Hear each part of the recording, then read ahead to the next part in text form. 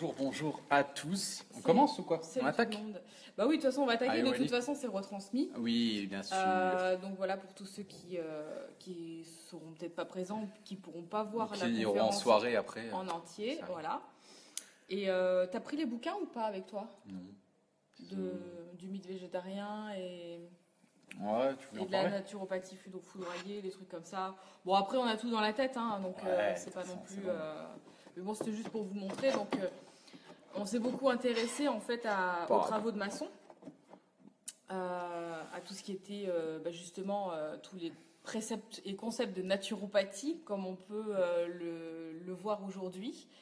Et on, on s'est intéressé aussi un petit peu au mythe végétarien de, De- Lear Kate. Et on a lu donc son livre bah, il n'y a pas très très longtemps. Et euh, on a vraiment retiré des, des super choses. Donc euh, c'est vrai qu'elle elle parle aussi euh, de tout ce qui est environnemental. C'est pas que euh, l'aspect euh, des protéines, des protéines animales, etc., qui sont indispensables à la vie. Elle parle aussi des, de tout ce qui va être au niveau de l'environnement, de l'impact aussi des céréales. Mm. Et elle explique à quel point, en fait, au final, bah, notre environnement, quoi quoi qu'on fasse, euh, bah, on va devoir consommer des choses. Et puis, euh, même si on dit non, on arrête de consommer des produits animaux, mais c'est pas ça qui va sauver la planète, Ouais, en fait. hein. Voilà. Et elle explique vraiment très, très, très bien dans son livre, et c'est vraiment super intéressant. Mm. Et euh, qu'est-ce que tu en as retiré, toi, à peu près de, de Bah, tout ça? moi, c'est vrai que le mythe végétarien, on l'a eu on- entre les mains il y a un an. Mais je crois que les livres, pour ceux qui sont passionnés de lecture, euh, il y a des jours ou des moments de votre vie où vous êtes prêt à lire un livre. Il y a des, des livres qui vous appellent et vous sentez que c'est le moment. Et on l'a eu en- dans les mains il y a un an, un an et demi. C'était pas le moment. C'était pas le moment. Quand il est sorti d'ailleurs. Ouais, on, on a, je sais pas, on s'est, on s'y est intéressé, mais euh, sans plus. On a Mm. dit, euh, bah au final, euh, bah, c'est une comme nous. Elle a eu les mêmes problèmes que nous. Elle a eu des problèmes de fermentation, etc. Bon, elle, elle a, elle a quand même persisté pendant plus de 20 ans. hein. 20 ans, elle a été végétalienne. hein. Wow. Végétalienne. Non, végé- ouais, bah nous aussi on a été végétalienne, Ah mais végétalienne 20 ans. Donc là, franchement, je lui tire vraiment mon chapeau. Je sais même pas comment elle a fait, comment c'est possible. Et euh, donc elle explique d'ailleurs tout ce qu'elle a, tout ce qu'elle a eu comme désagréments de santé, etc. Et à quel point elle était rentrée dans un dogme tellement puissant que pour elle c'était juste impossible de remanger des produits animaux. Ouais, c'est clair, à la base, ouais. Donc ouais, on a eu ce bouquin entre les mains euh, il y a un an et demi, et puis ben il y a pff, un mois, il nous a rappelé, bon, si on peut dire. Et euh, je sais plus comment je suis arrivé, j'ai vu sur internet ou quoi, je me suis dit ah tiens, je suis prêt pour lire ce livre. Ouais, Et est. en fait, c'est vrai qu'il a déclenché en nous une espèce d'élargissement de conscience sur sur beaucoup de choses. Mm. En fait, tout c'était, euh, il a mis des mots sur des, des, des échanges qu'on avait, Céline et moi, et on se dit, ah, il y a ci, il y a ça, il y a ça. Et puis en fait, c'est un condensé de tout ce qu'on pensait. Donc c'est une validation un petit peu de, de toutes nos pensées. Donc euh, ce soir, à travers ce live, nous, euh, voilà, on n'est on n'est pas euh, ici pour euh, prôner sur ouais, quelqu'un ou sur qui que ce soit. On est juste là pour faire un petit peu euh, Un bilan de. le bilan de, de tout ça, de, de, de tous, toutes, les, toutes les personnes qu'on a dans notre entourage et qu'on accompagne, parce qu'au final, Euh, c'est- ça. aussi qui fait que à chaque fois, on a toujours les mêmes choses qui reviennent. Ouais. Donc, euh, à partir du moment où on commence à accompagner des gens, on commence à faire des coachings, on commence à avoir des gens visuels qui viennent aussi à la maison, on commence à avoir de plus en plus de personnes qui nous contactent, euh, qui nous posent des questions, etc. Et on en vient toujours à peu près au même profil de personnes et euh, aux personnes qui ont les mêmes symptômes. Et des personnes qui ont voulu en fait trop bien faire dans l'alimentation santé et qui sont allées trop loin et justement qui se sont flinguées en voulant faire trop bien. Ouais. Et on s'est aperçu, euh, et c'est pour ça qu'on voulait faire un bilan là-dessus, que euh, souvent on veut trop bien faire et euh, en voulant trop bien faire, ben, ça va pas. Et on, on va en fait à l'encontre de qui on est nous dans Mhm. notre fort intérieur.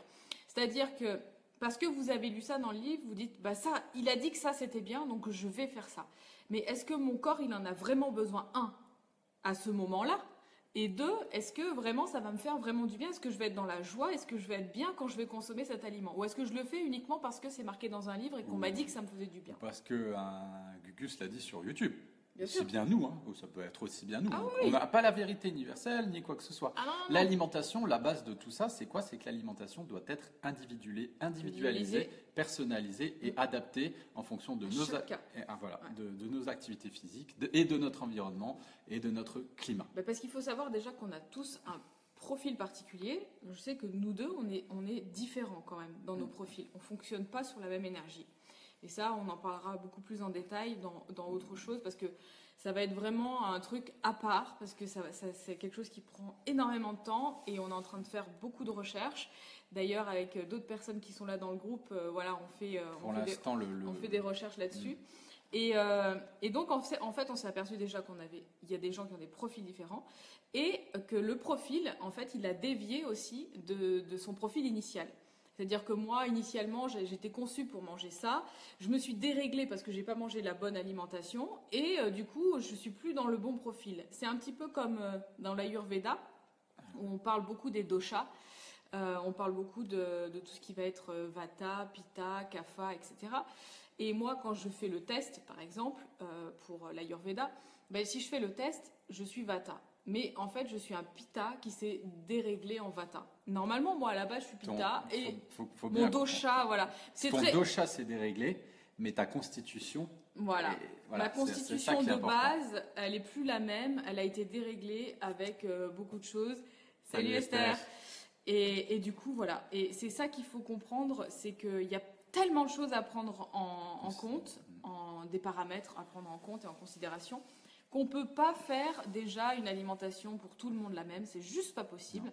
Et c'est pour ça qu'il y a autant de personnes qui sont pas d'accord sur plein de sujets. C'est le gras, c'est le sucre, c'est machin. Non, il faut manger cru, non, il faut manger cuit, il faut pas manger de viande, il faut manger des produits laitiers, il faut pas en manger. Le gluten, c'est c'est pas vrai, il y a pas d'allergie. Le gluten, il y a des allergies. Les céréales, il faut pas, c'est de la colle. le riz, machin. Euh, ah, ah ouais, non mais c'est juste, moi, j'ai envie juste de vous dire, mais faites vos propres tests pour vous. Parce que pour moi, ce que je vais moi tolérer, peut-être vous, vous n'allez pas le tolérer.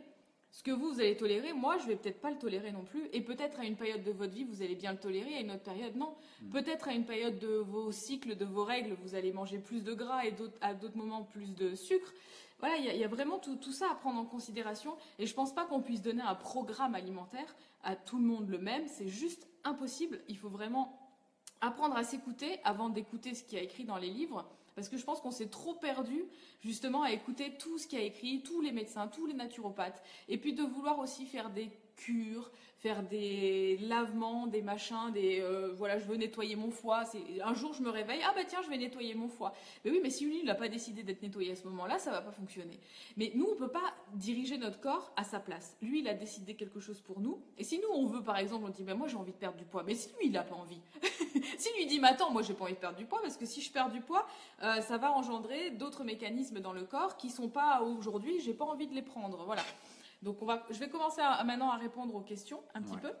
Et euh, Alors, il y avait une question très pertinente. Donc euh, euh, aussi, en fait, là, on met tout dans le même, dans le même sac. donc on sait qu'on va se prendre la réflexion en commentaire sur YouTube. Hein. Oui, le véganisme n'est pas le crudivorisme. Oui, le végétalisme n'est pas le, le, véganisme, etc. Donc on met tout dans le même sac, bien sûr. On met même le paléo dans le même sac. Hein. Voilà, on met tous les modes alimentaires, tous les régimes, toutes les choses comme ça. Ce qu'on assiste, c'est une alimentation personnalisé. Voilà, personnalisé, adapté, individualisé, c'est tout. Euh, on, est, on est contre rien, c'est juste qu'on a testé ces modes alimentaires, on a testé le végétalisme, le véganisme et tout ça. Donc on peut en parler, on peut donner un recul, mais encore une fois, ça ne regarde que nous. Et on a aussi des témoignages de personnes chez qui ça fonctionne bien. On en parlera un petit peu plus tard pour vous expliquer comment se fait-il.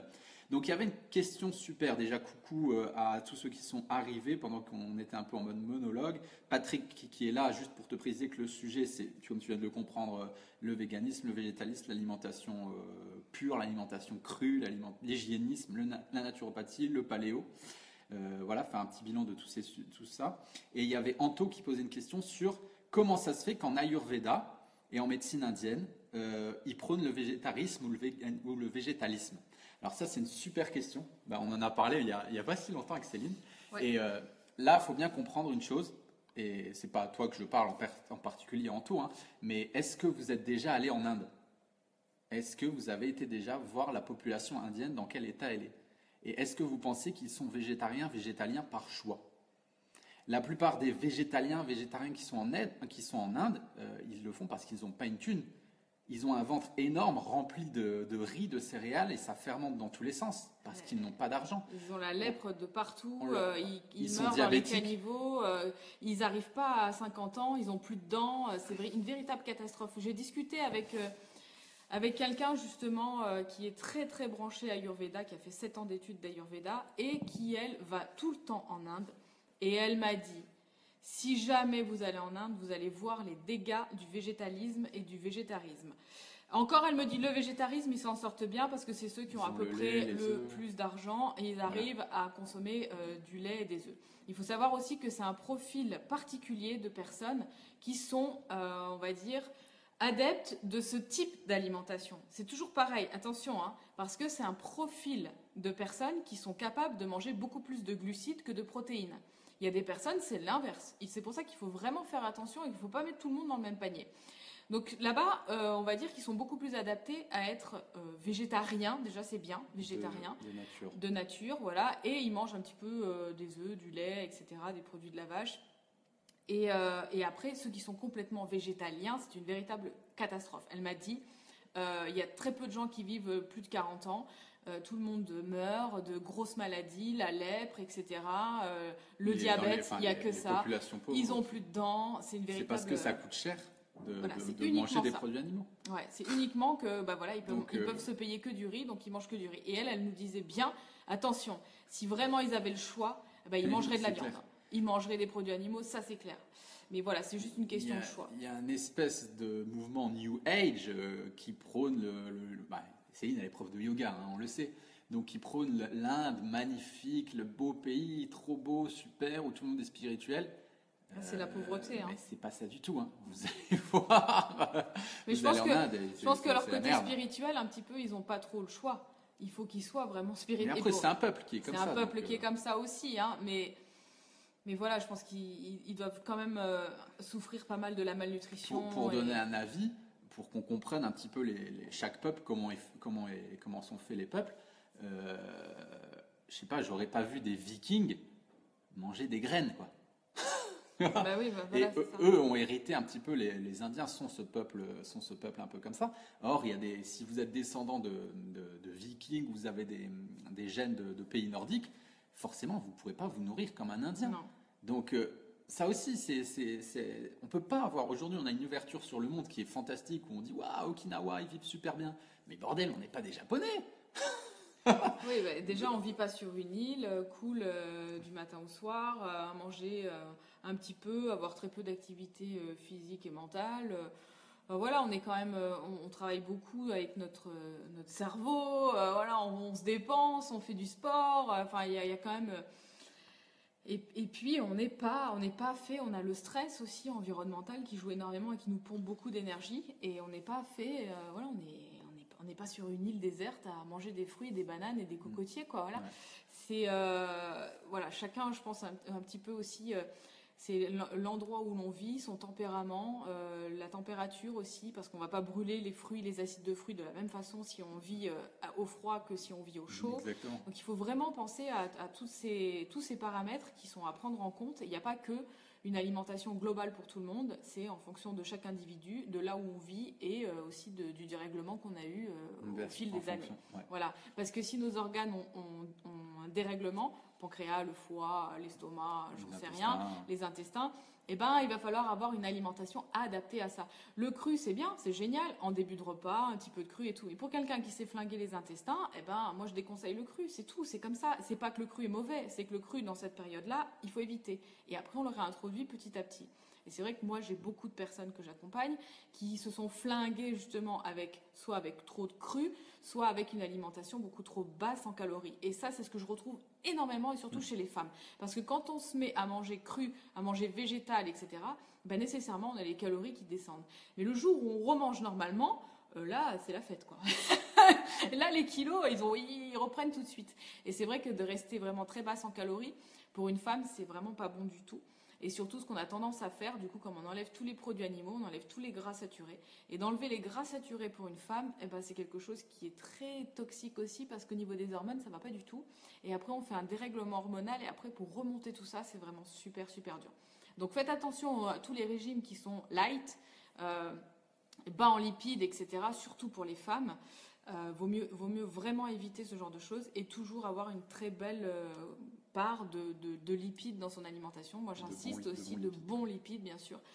dans son alimentation, surtout la part d'acides gras saturés, des oméga 3, oméga 6, oméga 9, les polyinsaturés, les monoinsaturés, etc. Il faut vraiment qu'il y ait un petit, peu, un petit peu de tout dans l'alimentation mais surtout d'acides gras saturés parce qu'en fait les acides gras saturés, c'est les seuls qui peuvent se transformer en monoinsaturés, polyinsaturés et le corps sait les fabriquer de cette façon-là. Tandis que si on n'emmène que les monoinsaturés, par exemple, il ne pourra pas en fabriquer des, polyinsaturés.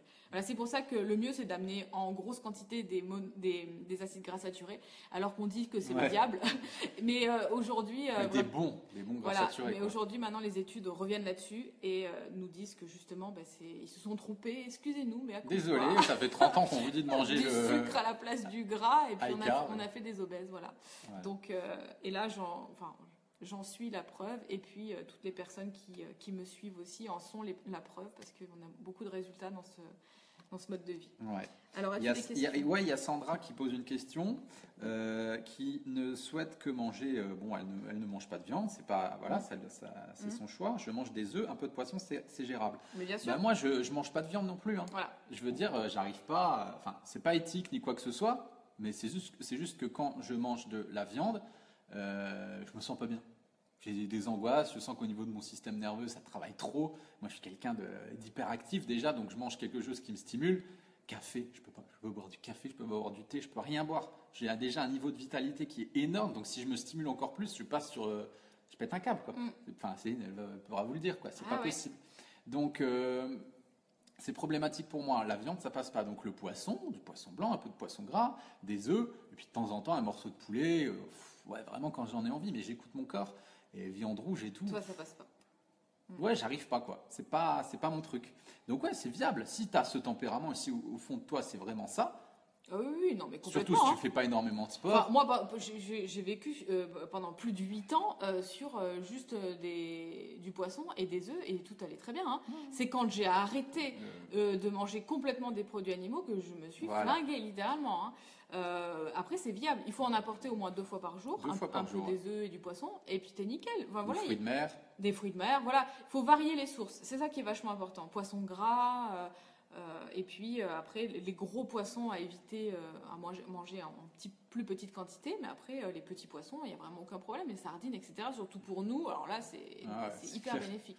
Je rebondis juste sur la question de Florian parce que j'en ai parlé il y a juste là, et donc ouais, tu as tout à fait raison c'est les acides gras trans qui sont mauvais et qui sont toxiques. Et alors, il faut savoir que quand on a fait, ils ont fait les études justement sur les acides gras trans et les acides gras saturés. Ils ont mélangé les deux ils en ont fait. Gras trans et saturés ensemble dans les tests. Dans les tests, ils ont ils ont mis ils ont mis tout le monde dans le même panier et c'est pour ça qu'on en a on, a diabolisé autant les acides gras saturés. Mm. Alors que c'est les acides gras trans qui sont toxiques. Alors pour le rappel, les acides gras trans, qu'est-ce que c'est?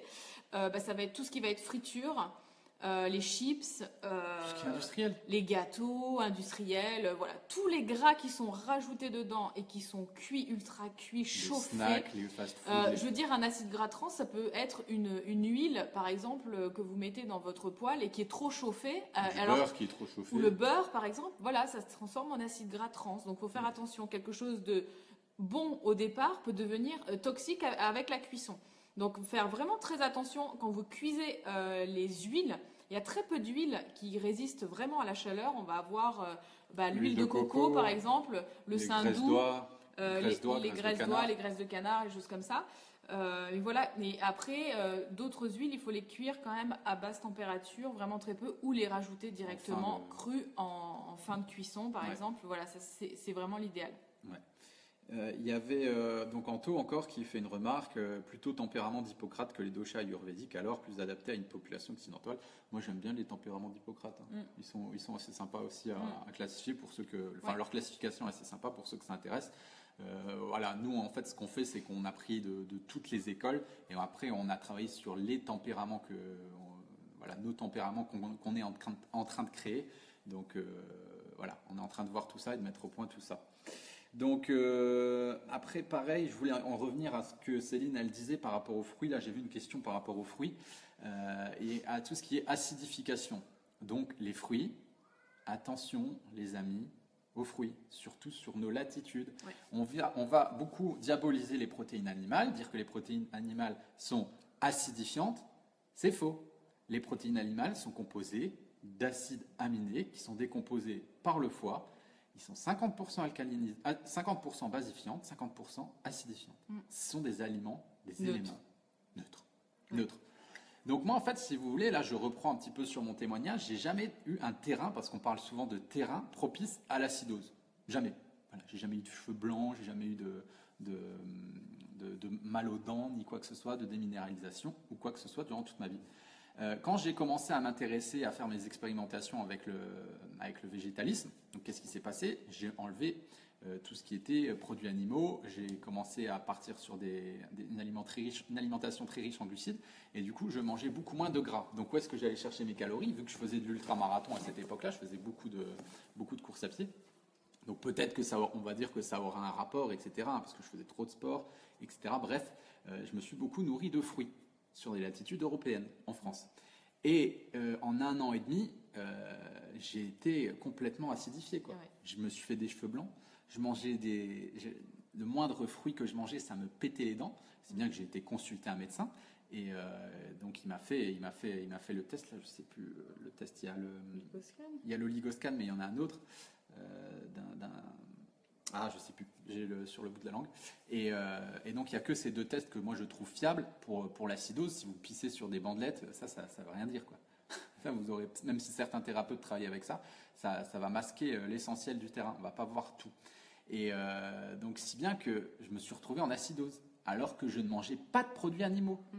Je ne mangeais pas de produits animaux. Donc, on va aussi parler parfois d'alcalose, euh, mais je, avec les, les- les discussions que j'ai eues avec ce, ce- ce médecin, euh, non, ça, c'était pas une alcalose. Donc, je me suis bien acidifié en mangeant des Ouais, fruits. de toute façon, tu l'as vu, tes dents, Ah, euh, ouais, c'est clair. tout était. euh, Dès que je mangeais des fruits, tous les symptômes revenaient. Ouais. Donc, euh, as-tu eu des caries?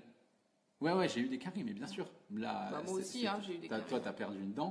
Euh, les fruits, sur nos latitudes, on vous répète, ça peut être des aliments santé, etc. Bah, en fait, à la, à la base, c'est- fou parce que le fruit peut passer pour un aliment euh, alcalin, parce que euh, sa composition, etc. Mais les acides de fruits, en fait, notre corps, il n'est pas capable De les camburer, quoi. de les comburer si on n'est pas au soleil et à la chaleur.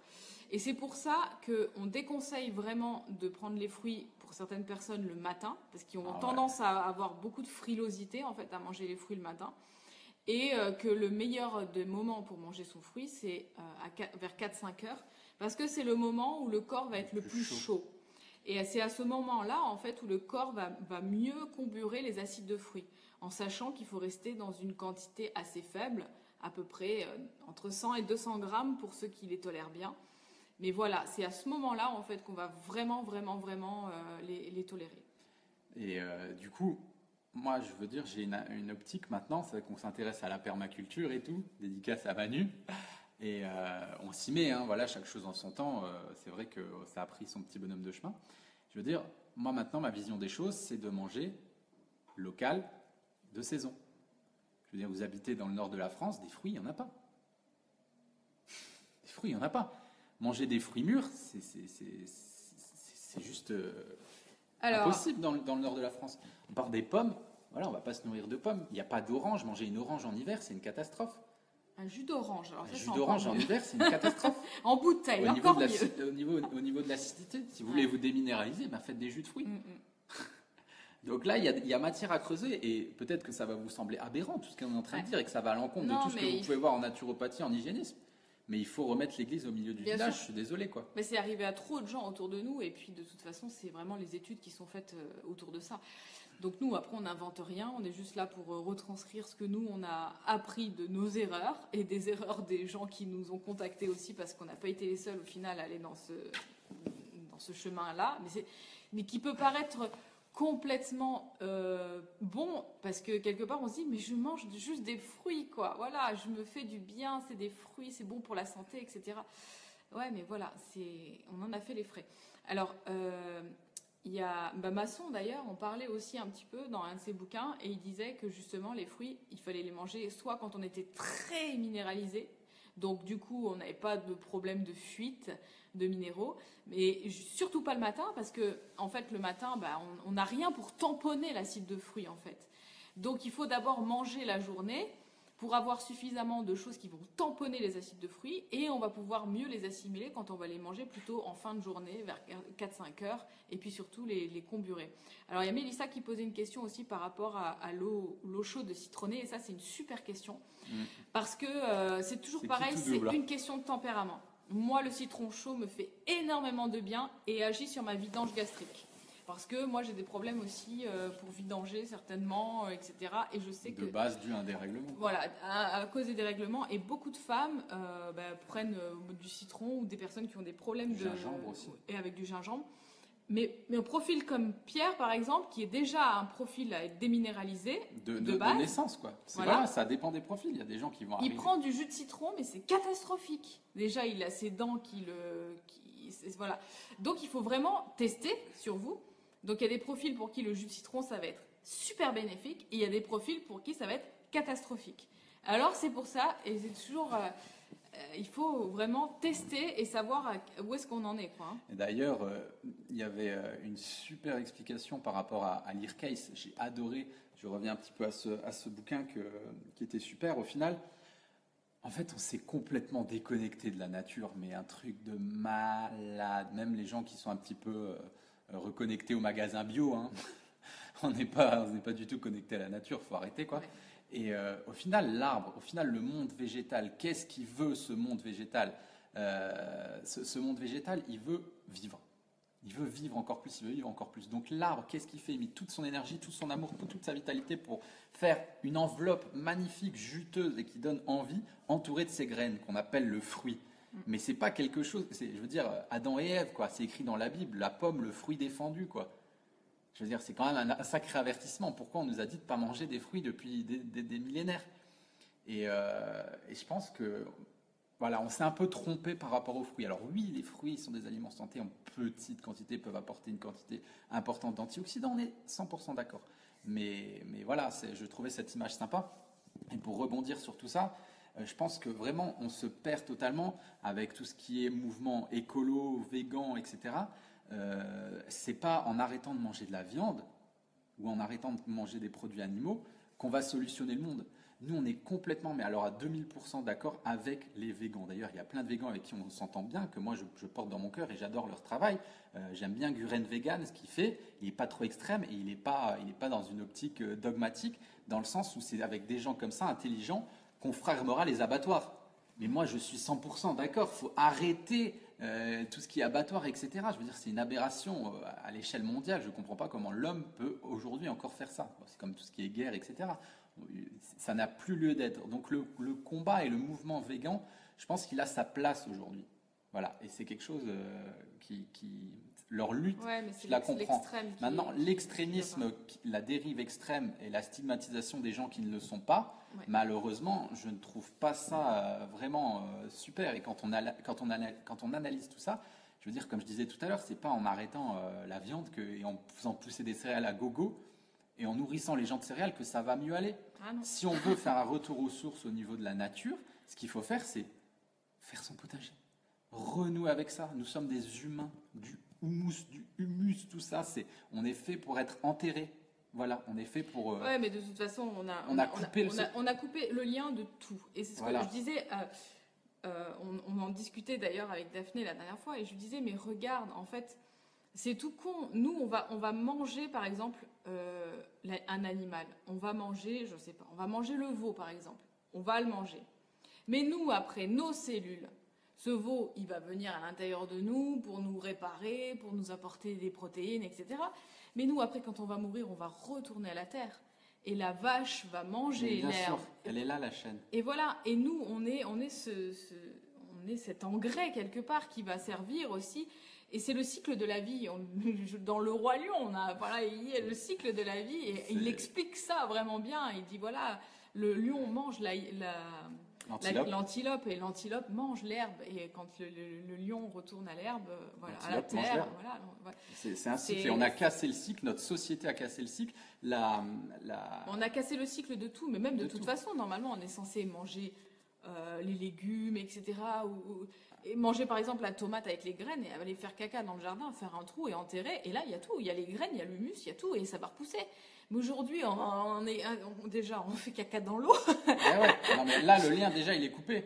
On passe pas un peu pour des puristes. C'est pas pour ça qu'on va faire caca dehors, hein. mais c'est une généralisation qu'on est en train de vous dire.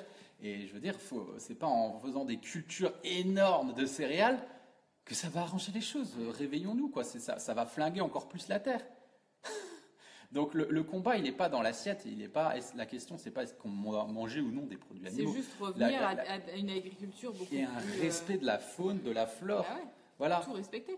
Et je pense qu'on peut, on peut arriver à tous se nourrir de cette façon-là. Mais après, c'est même pas une question de boycott ou quoi que ce soit, mais je pense qu'il faut quand même déjà plus se rapprocher des fermes, il faut déjà plus se rapprocher euh, des personnes qui cultivent euh, leur potager. Bon, nous, on va essayer de faire ça à grande échelle ici maintenant. Euh, petit à petit, on avance, tranquillou. Mais après, voilà, si on arrive à être plusieurs, à s'entraider, etc., et puis du coup à pouvoir faire des paniers bio pour tous les gens qui sont autour de chez nous, pourquoi pas voilà, nous on va se servir de la terre qu'on a ici, plutôt qu'elle est là, elle sert à rien. Euh, autant la, faire quelque chose de positif et puis euh, amener, euh, amener un petit peu tout ça. Ouais. Donc ce, live, il est aussi fait pour ça, c'est-à-dire pour élargir un petit peu le champ des possibles, le champ des consciences, comme on l'a, comme on l'a expérimenté, comme on a compris un petit peu toutes ces choses. Et voilà, c'est, nous, je veux dire, on est on est dans l'amour, on aime les animaux aussi. Je veux dire, on a cette conscience spirituelle également. Je veux dire, ça nous a brisé le cœur de devoir remanger des animaux, des produits animaux, parce que notre corps nous l'a réclamé. Voilà. Et, euh, c'est, je veux dire, c'est vraiment une communion qu'il faut retrouver avec la nature. C'est vraiment ce, cette coupure avec la nature qu'on dénonce. Voilà. Euh, il y a une question de Nat. Je fais de la muscu depuis deux mois, une heure 30 à 2 heures par jour, 5 fois par semaine. C'est beaucoup déjà. Je suis végé. Je sens que je suis un peu plus tonique, mais mon corps n'est pas affiné du tout et j'ai même pris 2 kilos. pourquoi? C'est quand même pas la pastèque par jour ou alors melon ou papaye, je suis intolérante au gluten légumineuse. Bah, tout dépend de ton profil, Nat, on ne te connaît pas. Donc, bah, euh, déjà, un, il y a ton profil qu'il faut savoir. Deux, si tu manges des fruits, déjà tu manges trop peu de calories. Donc ton corps, en fait, il va faire de la résistance. Il va faire du stress. Et de 1 heure et demie à 2 heures de sport par jour, c'est du stress pour ton organisme. Donc en fait, plus il va stresser, moins tu vas maigrir. Et plus il va stagner, et même tu vas prendre du poids parce que le stress va lui faire prendre du poids. Donc fais très attention au surentraînement parce que ça, c'est pas très bon du tout. Et euh, on, peut on peut tomber euh, justement dans ce, dans ce mode de surentraînement. Et du coup, comme tu es là-dedans, tu es très stressé, euh, et tu crées des acides et ton corps pour tamponner, eh ben voilà, et tu manges pas assez de gras et assez de protéines à mon goût. Voilà, après je ne connais pas ton alimentation. C'est dur pour nous je ne connais pas ton profil. là, euh, voilà, ça se fait pas comme ça, mais euh, mais après qu'est-ce que tu dois faire? Voilà, il faut qu'on ait tous les éléments. on, ne peut pas te dire je connais pas ton profil, donc je peux pas te dire ben mange mange ci, ça, ça, ça, ça. Il faut que je connaisse tous les paramètres. Comme ça, à ce moment-là, je pourrais te donner un programme spécial pour toi. Mais sans connaître euh, tous les paramètres, c'est impossible. C'est vraiment dur parce qu'on est tous différents. Il faut que je, je, sache à quel niveau tu en es. Et surtout, fais attention au surentraînement et au stress parce que ça peut faire pire que bien. Et si tu as un tempérament justement à faire beaucoup, beaucoup de cardio, par exemple, je sais pas, euh, alors que tu n'es pas un t'as pas un organisme qui est fait pour ça, bah, tu risques de taper dans tes réserves de glycogène et peut-être pas en rapporter assez. Du coup, tu vas tomber dans les fringales et puis du coup, tu vas tomber dans le cercle où tu vas manger plus. Sucre en plus, peut-être que t'es pas adapté à ça. Et voilà, donc faut, faut, faut voir tout ça. Je, je, je sais pas comme ça. Après, il y a une remarque de, de Hugo. Salut. Euh, je comprends votre point de vue, mais je ne suis pas d'accord, les amis. Un veau ne demande pas à mourir six mois après sa naissance, mais complètement. Et là, ce n'est pas un respect de la vie, c'est ce qu'on te disait. Euh, je veux dire, euh, on n'a pas. Après, j'ai pris ça comme exemple, ça aurait pu être autre chose, hein, mais. On, a coupé le lien, et en fait, on a aussi coupé le lien avec le règne animal parce qu'on a trahi les animaux avec les abattoirs, autant qu'on a coupé le lien avec le règne végétal, avec l'agriculture. Voilà, on a, et même on, leur a mis à l'envers parce que pendant des millénaires, les animaux, et ça, ça a été prouvé scientifiquement aussi, ont adapté leur génétique pour se rapprocher de l'homme. D'ailleurs, si tu veux regarder un peu plus, pousser un peu plus loin tes recherches, le chat s'est auto, a auto euh, transformé au final ses gènes euh, pour s'adapter et devenir docile, pour se faire domestiquer par l'homme. Pourquoi? Parce que toutes les créatures vivantes sont feignantes. euh, je veux dire, un, loup dans la nature, il a eu deux choix. Soit il était caressé, chouchouté, dorloté, nourri par la main de l'homme, soit il galérait comme un taré dans, la neige à chercher des proies et à crever la dalle. Qu'est-ce qu'il a fait, le loup intelligent Il s'est modifié et au final, toutes les espèces de chiens viennent du loup. C'est tout. Du, petit Yorkshire au Jack Russell au Doberman. elles viennent toutes du loup. Donc c'est l'animal qui s'est adapté à l'homme, génétiquement. Euh, mais on lui a mis à l'envers il y a une centaine d'années, là, il y a, une centaine d'années avec euh, les abattoirs, l'élevage intensif. Mais je suis entièrement d'accord avec ça. Et pour ça, je rejoins tout à fait euh, toutes les personnes. Après, il y a eu des manipulations génétiques faites par l'homme ah pour, faire des races de chiens, etc. Ouais. Mais, mais dans tous les cas, voilà, ce sont les, animaux qui ont fait ce choix de se rapprocher de nous par confort. Et bien sûr, on leur a mis à l'envers. Je suis d'accord avec toi, hein. ça c'est clair. Euh, bah, si, tu vois, par exemple, si Nati, elle aime pas le cardio, bah, je sais déjà à peu près euh, quel profil tu dois avoir. donc, euh, donc tu n'as surtout pas un profil à manger du sucre, à mon avis. Et à être végétarienne. et à être végétarienne. Donc, tant que tu seras dans, le, dans ce moule-là, il se passera rien du tout. Au contraire, tu vas grossir. Je te le dis tout de suite. Hein. Ouais, ça c'est clair. Donc, MEF à tout ça, quoi. Et écoute, écoutez-vous bien, écoute tout ça, quoi. Pom, pom, pom. Il n'y avait euh, pas une question euh? Moi, il y avait Mélissa qui disait Depuis que je mange paléo, euh, je me sens vraiment, vraiment bien. voilà. Donc, c'est cool. Tant mieux, tu trouvé ton équilibre. C'est cool, franchement génial. ensuite, il y avait qui d'autre? Ouais, Anto qui parlait de Raphaël Pérez aussi. Bah écoute, c'est cool si, si, ça te parle. augmenter le son. Ouais, il est au max. Et il y avait Alicia qui disait finalement notre organisme est presque uniquement adapté à ce qui est disponible dans l'environnement où il est né. Ah, c'est pas con, hein, c'est pas faux. Ce qui explique que plus on est au nord, plus l'homme est capable de digérer plus de produits laitiers. Oui, on peut, on peut voir ça comme ça. Maintenant, regarde les, Inuits, quoi. Les peuples Inuits. Euh, allô, on fait des analyses de sang sur des analyses médicales sur le peuple Inuit. Ils, ils, ont, ils mangent pas de végétaux. Zéro. Zéro végétaux. Ils mangent euh, que de la, du gras et de la protéine animale. Ils pas de maladie cardiovasculaire. 0%. Euh, donc. Euh, Après, ben, c'est ça, mais ça dépend un peu les profils, ça dépend où tu es né, ça dépend de ta lignée, ça dépend de comment tu t'es nourri quand tu étais enfant, ça dépend de tellement de paramètres, c'est un truc de fou quoi. Si on doit tout prendre en considération, c'est un vrai casse-tête chinois hein, d'arriver à s'alimenter de la façon dont il faut pour soi-même aujourd'hui. Donc il peut y avoir autant de théories. Euh, moi, si j'écris un livre, euh, je vais écrire mes théories à moi qui seront complètement l'inverse de des siennes. On mm. On va pas écrire le même bouquin tous les deux. Parce que comprenez que les livres qui sont écrits sont le sont le reflet de la personne qui va écrire le livre. Il faut savoir que la plupart des bouquins qui sont écrits, euh, ben, en général, c'est des gens, c'est des naturopathes et qui ont un profil à être végétarien. Donc, euh, c'est pour ça qu'il y en a certaines personnes qui se perdent énormément. Et euh, qu'est-ce que tu es allé chercher? Non, mais parce que ah, une question intéressante, j'ai peur d'oublier des trucs. Là. Ah, il est allé chercher le bouquin sur, la, naturopathie. Vas-y, continue. Euh...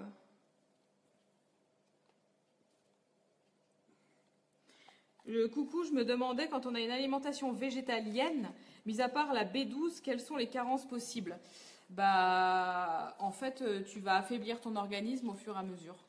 Donc, euh, tu vas pas, tu vas jamais être à ton plein potentiel. Ça va tout le temps, tu vas être tout le temps assez faible. Euh, même si tu prends de la vitamine B12 et même si tu te complémentes, il y a la vitamine D, euh, les oméga 3, euh, il y a pas mal de choses qu'on ne retrouve pas en fait dans, l'alimentation et puis surtout certains acides aminés en fait que tu ne retrouves que dans les produits animaux. Ouais, c'est pas les, protéines ne sont pas complètes malheureusement. Et ouais, c'est ça le, seul hic. tu peux en fait survivre pendant assez longtemps, hein, mais tu ne vas jamais vivre à ton plein potentiel tu seras toujours euh, en sous-régime, en ayant une alimentation végétalienne. Donc après, rien ne t'empêche de rajouter juste un peu des œufs, euh, euh, ou même juste des œufs, parce que les œufs, finalement, c'est une des protéines les plus complètes. Les plus assimilables. les plus assimilables. Et avec un peu de protéines de chanvre et des choses comme ça, qui peuvent aussi t'aider. Mais voilà, dans les œufs, tu vas retrouver un petit peu de vitamine D, de la vitamine B12, tu vas retrouver des oméga 3 si tu prends des, prends des bons œufs qui ont été nourris aux graines de lin. Voilà, et après, il va falloir que tu fasses, tu fasses vachement gaffe. Et surtout que tu surveilles tout parce que les carences mettent très longtemps à arriver, c'est ça le problème. une fois qu'elles sont là, après. Et après, une fois qu'elles sont là, ton corps il est parti trop loin dans les carences et puis pour le remonter, c'est très dur. Bon, après, tu fais ce que tu veux, hein, c'est ton corps, euh, chacun est libre de faire complètement ce qu'il veut, mais voilà, je veux savoir pour quelle raison tu le fais, avant tout. Est-ce que c'est quelque chose qui te parle vraiment et tu n'en as pas du tout envie ou est-ce que tu le fais uniquement parce que tu as lu quelque chose dans un livre et que tu t'es dit je vais faire ça? Parce que moi, quand je suis allée voir, euh, je le dis et je le répète, je suis allée voir énormément de médecins, de naturopathes, etc. Les meilleurs de France. Et, euh, et pour, pour poser des questions, j'y suis allée avec mon petit carnet et euh, c'était le but d'interroger en fait le maximum de personnes dans la santé et de leur demander vraiment leur avis. Et j'en ai très peu, même voire il me semble que j'en ai aucun, qui m'ont dit euh, ayez une alimentation végétalienne, ça sera bon pour votre santé. Ils m'ont dit complètement l'inverse. Attention le végétalisme. Il n'y a pas de peuple. Euh, il n'y a pas, il y a personne qui est végétalien. Même les animaux ne sont pas végétaliens. Attention, hein. parce que la vache, quand elle broute de l'herbe, elle mange un kilo euh, à peu près par jour, je crois, d'insectes quand elles mangent l'herbe. Et il a, il a été, euh, euh, ils ont fait une étude pour des chevaux qui, qui, étaient, nourris avec du foin qui avait été nettoyé, c'est-à-dire enlevé, ils avaient enlevé dans le foin tout, ils l'avaient purifié, je sais plus, il y a un nom exactement pour ça. Et ils avaient prouvé en fait que ben, les, les, ils dépérissaient complètement parce que justement il n'y avait pas, il y avait plus euh, euh, les insectes et tout ça qu'on va retrouver dans le dans l'herbe et dans le foin. Et donc une fois que le foin il est éliminé de toutes ces particules, eh ben les, les chevaux euh, meurent. Donc même les animaux végétariens consomment des insectes et consomment des protéines. Ils en consomment en très grosse quantité quand ils mangent, quand ils broutent. Donc à chaque fois qu'ils broutent, bah, ils mangent, il y a tout. Il y a les fourmis, les machins, les mouches, les vers, les trucs. Ils font pas, ils font pas un tri. Hein. Ils font pas, ils mangent pas que l'herbe comme ça, hein, ça, ne marche pas. Hein. Mais les... grands singes, c'est la même chose. Hein. Les grands singes, euh, quand ils s'alimentent, ils, mangent beaucoup des, petits serpents, des, des, œufs quand ils trouvent des œufs. Euh, il y, a, à peu près 20% de leur alimentation qui est euh, des protéines animales. Donc faut faire vachement gaffe à ce qui est dit. Hein. Parce qu'il y en a, oh, il y a aucun animal qui est végétalien sur cette terre. Aucun. Donc même le, koala qui mange, qui est mono, euh, euh, qui mange un seul aliment, l'eucalyptus qui est monovore, bah lui aussi mange des insectes. Parce que dans les feuilles, il y a des insectes, il y aura toujours des insectes. Donc il faut vachement faire gaffe à ça. Et nous, si on fait ça, c'est catastrophique. Donc en fait, l'humain, lui qui n'est pas du tout fait pour être euh, végétalien, attention. Hein. Si tu veux, le, végétal, le végétalien, lien, qui ne mange aucun produit animaux, euh, pour ceux que je connais, j'en connais pas qui le font, enfin personnellement, hein, je ne dis pas que ça n'existe pas ni quoi que ce soit, mais qui le font réellement à 100%, je n'en connais pas. Et euh, depuis plus de 10 ans, par exemple, je n'en connais pas. Et bah, nous, euh, à l'époque où on était végétalien, on avait été contacté par quelqu'un qui voulait faire justement, une étude, qui était passionné par ça, et qui voulait trouver un vegan végétalien vraiment, qui, vraiment, qu'il avait été depuis plus de 10 ans. Et il trouvait pas Et il avait vraiment cherché, cherché, cherché. Et il trouvait pas quelqu'un qui l'avait fait vraiment à la perfection, à fond, hein. pendant, euh, pendant 10 ans. Et qui était en, bonne santé. Donc en fait, le truc, c'est que pour vraiment pouvoir arriver à tourner là-dessus, je pense que peut-être c'est possible si quelqu'un est en super méga forme, à manger bio depuis qu'il est gosse, qu'il a le métabolisme pour aussi, qu'il a le, qui vit sur une île, qui, fait rien de la journée. et, ouais, c'est peut-être possible si son foie euh, arrive à, décomposer les acides aminés des végétaux à la perfection et à, les assimiler. Super. Si son système digestif fonctionne super bien, super bien, qu'il n'y a, rien. Donc en gros, quelqu'un qui ne vivrait pas à notre époque, c'est pas possible. Et même, euh, même euh, les anthropologues ont également étudié, il n'y a aucune tribu durant toute l'histoire de l'humanité qui, qui, a été végétalienne. Donc je veux dire, c'est quand même qu'il y, a quelque chose, quoi. Bah, les Maasai, par exemple, ne mangent pas de chair animale. Aucune. Qu'est-ce qu'ils font? Ils boivent le sang et le lait. Et eux, ils ne tuent pas. Voilà, ils font des saignées, en fait, de l'animal, mais ils ne le tuent pas. Donc à chaque fois, ils prennent le sang, ils prélèvent le sang, ils boivent le sang, ils boivent le lait. Donc c'est quand même des choses d'origine animale, mais en même temps, ils ne mangent pas la chair des animaux. Et il n'y a, aucune tribu de toute façon qui ne mange pas de, chair animale ou de produits venant de l'animal. il n'y en a pas. Qu'est-ce qu'on pense du pain? Euh, bah, On en pense du bien euh, ou du mal. Et c'est toujours pareil. Déjà, un, ça dépend du pain. Et deux, ça dépend de ta tolérance. Donc, euh, il faut savoir qu'il y a pain et pain. Donc, aujourd'hui, maintenant, on ne sait plus faire du pain parce que tout le pain est enrichi en gluten vital, qui est un gluten qui est ultra toxique, euh, qui va nous coller tous les intestins, etc. Donc, si on prend du pain, il faut le retourner vers du pain ancestral. Euh, soit du pain d'épeautre par exemple, qui a été fabriqué à l'ancienne avec du levain, etc. Voilà. Il, faut, il faut que les céréales elles, elles, elles, elles fermentent, qu'elles aient une belle fermentation en fait dans le pain. Sinon, si, euh, si, on utilise de la levure chimique, eh ben, les céréales, elles fermentent chez nous. Et si on a déjà des problèmes de digestion et d'estomac, ben, ça va fermenter dans l'estomac et ça va proliférer dans l'estomac et ça va être une véritable catastrophe. Et après, ça va engendrer euh, tous les problèmes, ben, la candidose, euh, mauvaise digestion. Donc c'est soit les céréales, elles vont fermenter dans l'estomac, par exemple, euh, on vidange pas, par exemple, voilà, on a une mauvaise vidange gastrique, on n'est pas bien, on va pas, va pas aux toilettes, on est constipé, etc. Donc soit les, petites bactéries elles descendent et ça fait la candidose, soit ça remonte et puis là ça fait les problèmes d'acné et tous les problèmes ORL qu'on peut avoir, etc. Donc c'est soit ça monte, soit ça descend quand on tolère pas les, et c'est pour ça qu'on va pas tolérer euh, certains céréales aussi, par exemple le gluten, etc. C'est pas forcément le gluten, aujourd'hui, oui, parce que le gluten, il est dégueulasse, parce mm. que tout est enrichi en gluten pour avoir un pain euh, beaucoup plus consistant et dégueulasse et tout blanc et qui ressemble à rien et qui est plus du pain pour nous. Voilà, c'est plus le. Moi, je vois mon grand-père, il est toujours à la recherche des boulangeries qui va refaire du pain à l'ancienne et tout. il me dit, moi, je peux pas manger ce pain-là, c'est dégueulasse. Voilà, 18 moi, carrés de sucre. Mais je veux dire, on, quoi. fait revenir nos, arrière-grands-parents, etc. Aujourd'hui, on leur fait bouffer notre pain, mais ils vont nous jeter à la figure, quoi. Ils vont me dire, mais c'est pas du pain, quoi. Arrêtez.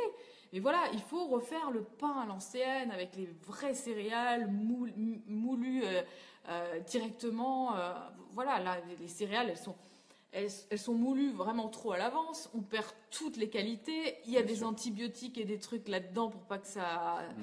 pour pas qu'il que ça moisisse, pour pas qu'il y ait des moisissures, etc. Mais c'est dégueulasse. Tout est dégueulasse maintenant ce qu'on fabrique. Donc c'est c'est juste logique que le corps n'arrive pas à, à, les tolérer. Voilà, parce que c'est plus fabriqué de la façon dont ça devrait être fabriqué. On a tout perdu. On veut, on veut faire euh, du, du grand n'importe quoi, on veut faire de l'argent avant tout, et la santé, on s'en tamponne. Donc. Euh, ouais, non, mais c'est clair. Donc pour le pain, ouais, le... sinon, faut le faire. Bah, faut le faire. Euh, moi, je le fais, hein. je fais mon pain, ça me prend deux minutes. On fait du pain paléo, et puis à la place, on met des farines de, de, châtaigne, des farines de sarrasin. Voilà, ça passe à la rigueur, quoi. Donc voilà, c'est vite fait. Je reviens sur une petite question d'Antoine qui par rapport à ce qu'on disait tout à l'heure. Euh, je ne pense pas que le règne animal et végétal permettent de nourrir 7 milliards de personnes. Bah, c'est bien ça le problème, c'est qu'on est comme un corps qui s'est déséquilibré. L'humanité à son échelle, c'est beaucoup trop déséquilibré. On est beaucoup trop sur la planète et euh, on est obligé de passer par cette agriculture intensive pour nourrir la population. Maintenant, dans un monde idyllique où tout le monde est beau, tout le monde est rose, et eh ben, on ferait tous de la permaculture et ça pourrait nourrir des milliers de personnes.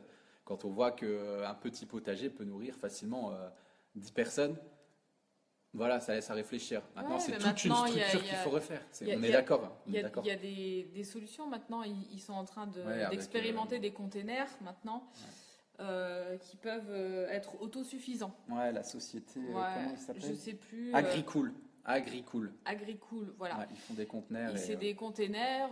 ça va arriver, ça va arriver. Voilà, tout ça, ça va arriver. Donc tout le monde pourra en avoir en bas de son immeuble. voilà, donc c'est cool aussi ce genre de choses. Mais... Ouais. Donc voilà, il y avait euh, pourquoi les fruits seraient délétères puisque justement ils se digèrent très vite. C'est pas la digestion des fruits qui pose problème, c'est l'acide qu'ils contiennent en fait. Mm. Donc c'est ça qui est délétère. Et le fait qu'on n'arrive pas à, brûler, si tu veux, cet acide de fruits. Euh, pouvez-vous nous donner plus de recettes de ce que vous mangez au quotidien, notamment avec des aliments bons pour le biote? J'avais adoré la recette de miso, je l'ai adoptée depuis. Ouais, elle est vraiment cool cette soupe miso, mm. vraiment cool. On a, on a eu que des bons retours. Euh, c'est cool que ça te plaise. Euh, on va faire, on va essayer de faire des, recettes, mais on a déjà, je suis désolé, mais on est, une quantité comme ça de vidéos en attente. euh, Il est en train de finir son livre. Bah, ouais, je suis en train de, je suis en train d'en écrire un avec euh, avec quelqu'un. On est on est sur un gros gros gros gros gros gros projet. Et donc euh, coucou d'ailleurs, euh, je pense que tu me regardes. Donc euh, on va elle va venir euh, trois semaines à la maison. On va terminer d'écrire notre notre livre et c'est quelque chose qu'on va c'est vraiment un gros truc et il y a encore euh, personne qui a vraiment euh, parlé de tout ça et, euh, et voilà je, suis- je suis vraiment super contente parce que c'est des, des années et des années de recherche dans qui mon coin aboutissent enfin. Quoi. et des années de recherche aussi dans son coin et puis on s'est rencontrés toutes les deux et on a mis nos recherches en commun et ce qui est génial c'est que bah, on est passionnés toutes les deux et voilà on en retire des choses incroyables de nos expériences parce que c'est aussi une naturopathe et du coup, euh, elle a accompagné des personnes, etc. Et moi aussi, euh, dans mon coin, j'ai accompagné beaucoup de personnes et je me suis aperçue qu'en fait, euh, il y avait trop de choses qui étaient en corrélation et, euh, et qu'on pouvait vraiment en faire, comment dire, un, comme un espèce de guide où vous allez vraiment pouvoir vous retrouver chacun votre personnalité dans, dans, dans un type d'alimentation en particulier. Et ça, c'est exceptionnel. Mais ça va nous demander un temps On- fou C'est ce qu'on fait déjà en coaching. On- l'expérimente déjà dans les coachings. On, on veut euh, le, vous le fournir à vous. En fait, nous, ce qu'on a envie, c'est que vous soyez autonome. C'est ce qui Ah nous oui, anime non, depuis voilà. le début. Moi, j'ai pas envie d'avoir des gens en coaching pendant des années. hein. Je veux juste euh, mettre les gens sur les rails, comprendre comment ils fonctionnent et leur expliquer le, le mode de fonctionnement à eux Optimal et de euh, leur le- corps. optimal, remettre toute la machine en place et, à- comme il devrait être à l'origine, parce qu'au final, on est tous des dégénérés. Euh, voilà, on a tous dégénéré parce qu'avec une alimentation trop toxique et qui n'était pas adaptée à nous et trop de sucre, etc., et trop de produits industriels, on a tous dégénéré dans, dans un corps qui n'est pas le nôtre en fait. Et on est tous là en train de galérer à essayer de retrouver un corps à peu près normal et en bonne santé et euh, sans, sans péter toute la journée, sans avoir un ventre gonflé toute la journée, avoir des boutons plein la figure, euh, sans avoir des règles de manière régulière, avoir des hormones qui fonctionnent comme il faut, avoir des beaux cheveux, avoir des belles dents, euh, être en bonne santé, euh, être joyeux le matin quand on se réveille, être en pleine forme. Moi, je connais très peu de gens hein, qui ont vraiment un peu tout ça. Ils- on est tous un peu euh, dans, dans des états euh, de zombies, quoi. Et on est tous là en train de se dire putain, je voudrais aller mieux, mais comment je peux faire Il n'y a et pas le bon carburant. Mais oui, mais et voilà, et c'est surtout ça, c'est qu'il n'y a pas le bon carburant. Et puis dès le départ, euh, bah, on avait un diesel et on a mis de l'essence dedans. Donc forcément, bah, maintenant, il faut tout réparer. Quoi. Et puis, euh, une fois que tout est réparé, on pourra remettre le bon carburant dans chaque, chaque personne. Mais il faut réparer tout ce qu'on a dé- détruit. Je vais essayer de mettre une lumière. Ouais, parce que là, c'est. Je rebondis sur une question de Wendy. Désolé d'avance si cette question a déjà été posée. Que pensez-vous du fait de se supplémenter en protéines en poudre dans un contexte d'activité sportive régulière? Donc moi, par rapport à- aux lumières, tu crois que Attends, je vais essayer de changer. ah, Désolé. Il est où le- Ça va si je le Ouais, change? vas-y. Deux. On essaye de, cha- de changer parce que je pense qu'on nous voit plus beaucoup. Ouais, c'est toujours le problème quand on fait. On, on nous voit peut-être un peu mieux là. Bon, cul par terre. Bon, on est assis par terre. Ouais, donc Wendy, j'ai euh, déjà répondu beaucoup de fois à cette question, mais bon, voilà, on est là pour ça, hein. il n'y a pas de souci, t'inquiète pas. Euh, pour les protéines en poudre, moi je suis vraiment pas fan du tout. hein. Je suis sportif, je fais de la musculation, je fais du crossfit, je fais de la course à pied. Euh, je ne prends pas de protéines en poudre, peut-être un peu de protéines de chanvre occasionnellement, parce que pour moi c'est celle qui est le plus assimilable et que le corps assimile le mieux. Euh, je crois qu'on est sur du, de l'ordre du 90% avec le chanvre, et au final c'est quoi? C'est juste des graines de chanvre qui sont réduites en poudre. Donc euh, ouais, c'est clair que ça peut faire bondir au plafond certains puristes de la whey, etc. Rapproche-toi parce que peut-être on nous entend pas. On est un peu loin du téléphone. certains puristes de la, de la whey. euh, mais, mais non, voilà, pour moi, les protéines en poudre, c'est une catastrophe pour le biote intestinal parce que c'est trop modifié, trop transformé. Des, avec protéines de pois, de soja, c'est blindé de FODMAP et, donc- et compagnie. Donc, euh, Moi, j'ai essayé, perso, hein, je me suis transformée en montgolfière. mais franchement, même tout- beaucoup de clients qui sont même, euh, qui ont, moi je, je fais toujours des questionnaires par rapport à la santé intestinale des, de- de- des personnes que j'accompagne, et euh, même des gens qui ont des intestins qui tolèrent tout, tout, tout, ils me disent ah bah je vais essayer les protéines en, en- en poudre, euh, t'as un truc à me conseiller, je leur donne la meilleure qualité, les plus chères protéines de poids, et je fais toujours une introspection, je les force à s'introspecter. Est-ce que tu as des gaz après ça? Est-ce que tu as des selles différentes? Et souvent, c'est le cas. Mm. Donc, euh, c'est là qu'il y, y a un petit souci, même chez des personnes qui n'ont pas de problème au niveau du digestif. Donc, euh, non, je ne suis pas pour. Franchement, après ta séance de sport, si tu veux des protéines ou s'il manque des protéines dans ton analyse macronutritionnelle de Fais-toi la un journée, œuf dur, limite. fais-toi euh, une collation, Une euh, crêpe une crêpe avec des œufs trois œufs et un peu de farine, un peu de euh, farine, patates de douces. patates douces. ouais, Ou, euh, voilà, dans ce cas-là, euh, tu te fais, euh, c'est con, hein, mais tu vas à la Biocop, tu t'achètes une boîte de sardines ou une boîte de thon. Ouais. Euh, voilà, il y a plein d'alternatives où tu te fais un gâteau protéiné euh, avec, euh, avec des ingrédients que tu veux, de la protéine de chanvre, un œuf. Voilà, mais euh, essaye de favoriser au mieux des aliments qui sont physiologiques. voilà. Alors, je pense que le plus gros problème des céréales, c'est l'acide phytique. Mais oui, mais d'ailleurs, comme dans toutes les graines, en fait, toutes les graines, le problème, c'est euh, les antinutriments. Donc, si on ne fait pas déjà tremper nos graines et qu'on les rince pas, etc., pour enlever les antinutriments, c'est vrai que c'est vraiment pas bon parce que du coup, ça va prendre sur nos propres minéraux et ça va nous déminéraliser. Hein. Faut faire vraiment gaffe avec les, les céréales. hein. Donc, les céréales, éventuellement, on peut en consommer. Pour certains cas, attention, pas tout le monde, hein, parce qu'il y a des profils qui n'ont pas suffisamment d'amylase pour digérer euh, les, les amidons, et donc ils vont se retrouver avec des problèmes et qui vont les, les stocker et qui vont les, avoir surtout au niveau ORL. On peut beaucoup retrouver ça, et puis après des problèmes d'acné, etc. Donc il faut vraiment voir d'abord le profil, si on est adapté à en consommer ou pas, et à partir de là, si oui, euh, qu'on a un profil, il faut en consommer en assez petite quantité. Il ne faut pas manger que des céréales, attention, parce que c'est pas très bon. Il y a d'autres choses, hein, d'autres glucides qui sont très bons. hein. Il y a plein de légumes racines, euh, pommes de terre, patates douces, ignames, euh, bananes, euh, plantains, euh, courges, etc. Tous les Tous tubercules, les tubercules, les carottes, euh, voilà, il y a plein de choses qui farine sont de châtaigne, les bananes. euh, qui sont riches en glucides qu'on peut consommer euh, sans, sans souci de, de, de- de ces acides phytiques justement. Mais après, il y a l'alternative, bien sûr, de, de faire tremper tout ce qui va être grain. Parce qu'il faut savoir, en fait, que c'est tout con. Mais la graine, en fait, elle est censée donner la vie. Et elle, elle, a- elle se protège. Mais c'est normal, elle dit, moi, je veux pas être mangée parce que je veux donner la vie. Je suis une graine et je veux faire un arbre. Et elle, a complètement raison, finalement, cette petite graine veut juste se protéger, voilà. Et donc, en fait, il faut enlever ce, poison, ces antinutriments, qui sont un poison pour nous. hein, euh, et donc, une fois qu'on l'aura enlevé, qu'on on va tremper la graine, elle, elle va enlever cet antinutriment parce qu'elle va dire, ben voilà, ça y est, je vais pouvoir germer et je vais pouvoir donner la vie. Et euh, donc, elle va enlever en fait cet antinutriment qui est, euh, qui est dans cette graine. Et puis, euh, voilà, vous faire tremper. De toute façon, euh, toutes les populations qui font beaucoup de riz, les Africains, etc., Font tous tremper. font tous tremper le riz. hein. Ils le font tous Vous tremper. allez dans les îles, Ah la ouais, ouais. Réunion et compagnie, ils font tous tremper. Ils le font riz. tous tremper. hein. Alors, ensuite, euh, j'adore votre travail, continue comme ça. Merci Anthony, c'est super gentil de ta part, ça fait plaisir. Euh, il y avait signalé l'un des meilleurs régimes contre les maladies. Pourquoi? Pas de graisse, des fruits crus, etc. Euh, tu vois, euh, On avait bien aimé euh, cette petite intervention du professeur Henri Joyeux qui disait justement, signalé, il est mort à 70 ans, je crois, dans, ces eaux-là, je ne sais plus exactement, d'un cancer du pancréas. Donc, ces gens-là, ce sont des chercheurs, un peu comme nous, hein, j'ai pas cette, capacité à dire qu'on est au, même niveau, au même niveau que lui, ni quoi que ce soit.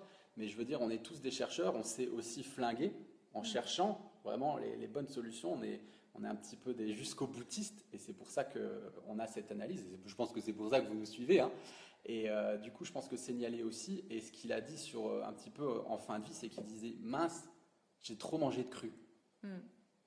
Voilà ce qu'il disait. Sa conclusion. Ouais, c'est ce qui, c'est ce en ressortait euh, avec. euh, Marion Caplan Ouais, par- ouais. parlait de ça, professeur Henri Joyeux aussi, c'est ce qu'on avait compris. Et, et même en, en lisant, euh, on l'a, on l'a, hein, le bouquin de Signalé, on adore ce tout ce qu'il a fait. Il y a des résultats absolument formidables avec le régime Signalé. Mais euh, d'ailleurs, c'est adapté aussi à un, morphotype, hein, bien sûr. Mais le facteur limitant qu'on avait identifié, c'était bien sûr le cru et les fruits. Quoi. Trop cru. Trop de cru, trop de fruits. Voilà. ensuite, bah, et je crois qu'il a justement rajouté quelque chose sur les, les acides phytiques, que le trempage en enlevait que 10%. Oui, oui, C'est pour ça qu'il faut presque faire pré-germer la graine. Plus, euh, plus elle va être euh, dans un état où elle va donner la vie, plus elle va euh, enlever ses antinutriments et ses acides phytiques. Ce qui est très compliqué avec le riz, parce que le problème du riz, c'est que ça moisit vite, en fait. J'ai jamais réussi à le faire pré-germer, en fait, le riz. C'est très bizarre. Donc, je pense qu'à mon avis, euh, si on prend un riz qui n'est pas complet, ben, on doit avoir certainement beaucoup moins d'antinutriments dedans, puisque finalement, c'est pas un grain complet. À voir. Ça, je me suis pas renseignée jusque-là pour euh, me pencher sur la question, mais c'est une question finalement qui est intéressante. Est-ce que le riz complet est considéré comme une graine entière et que si on fait tremper, elle va être pseudo-germée, etc. Et est-ce qu'une une fois qu'on a enlevé le germe euh, du riz et qu'il n'est plus complet, est-ce qu'il est encore considéré comme une graine qui peut donner la vie? Ben ça, je crois pas. Alors, si une graine ne peut plus donner la vie, est-ce qu'elle est encore considérée comme toxique avec des antinutriments? C'est la bonne question. Donc en fait, c'est juste une introspection que je suis en train de me faire à moi-même parce que j'ai pas la réponse en fait. C'est juste que j'essaye de comprendre en même temps que vous, voilà. Et c'est très rigolo d'ailleurs de se poser ce genre de questions parce que moi je le verrais plutôt comme ça. Je sais pas vous, mais voilà. Mais après, c'est sûr que quitte à consommer des glucides, moi c'est ce que je dis souvent euh, aux personnes que j'accompagne. Je vais essayer de rallumer une lumière. C'est euh, les céréales à consommer en dernier. Voilà, comme source de glucides. Euh, voilà, y a, Céline elle, les a énumérés tout à l'heure. Il y a assez de choses pour avoir euh, besoin de consommer des céréales. Et quitte à consommer des céréales, euh, autant consommer des céréales trempées, germées, etc., en respectant au maximum tout ça pour virer tous les acides phytiques. Ouais, c'est clair que c'est mieux. Et la lumière fut. Après, ouais, ça va mieux, ouais. Après, ce que j'aimerais bien aussi évoquer avec vous, c'est. ouais, ça, ça fait clair, mais ça va. Ce que j'aimerais bien évoquer aussi avec vous, Ouais, ça fait vraiment clair. La nuit tombe. On n'est pas trop éclairage, nous, chez, ici, donc. Euh, tamisé. Il y a plus ambiance tamisée, même le soir, du coup, euh, on n'est pas équipé. Il faudrait qu'on investisse dans un projecteur. Allô, quoi. Non, mais ça va, ça, ça fait le taf, là, avec ce, ce que tu as mis. Ouais, c'est bien. Ouais, donc par rapport aux céréales, etc., c'est vrai qu'on ne faut pas tomber dans l'orthorexie non plus. Hein. Euh, on est là pour, euh, pour, pour, donner des infos, qu'est-ce qui est mieux, qu'est-ce qui est pas bien. Mais là où il faut faire gaffe, et c'est souvent ce qu'on voit dans l'hygiénisme, il euh, ne faut pas tomber dans l'orthorexie. Sinon, après, ça craint. Et nous, on est aussi, on est, on est passé par là. Hein. Moi aussi, je ressemblais à un cap de frein à main. J'étais épais comme un cap de frein à main parce que j'étais tombé là-dedans. Ah, je peux pas manger des céréales parce que c'est acidifiant, parce qu'il y a des phytonutriments. Je peux pas manger de la viande parce que c'est acidifiant.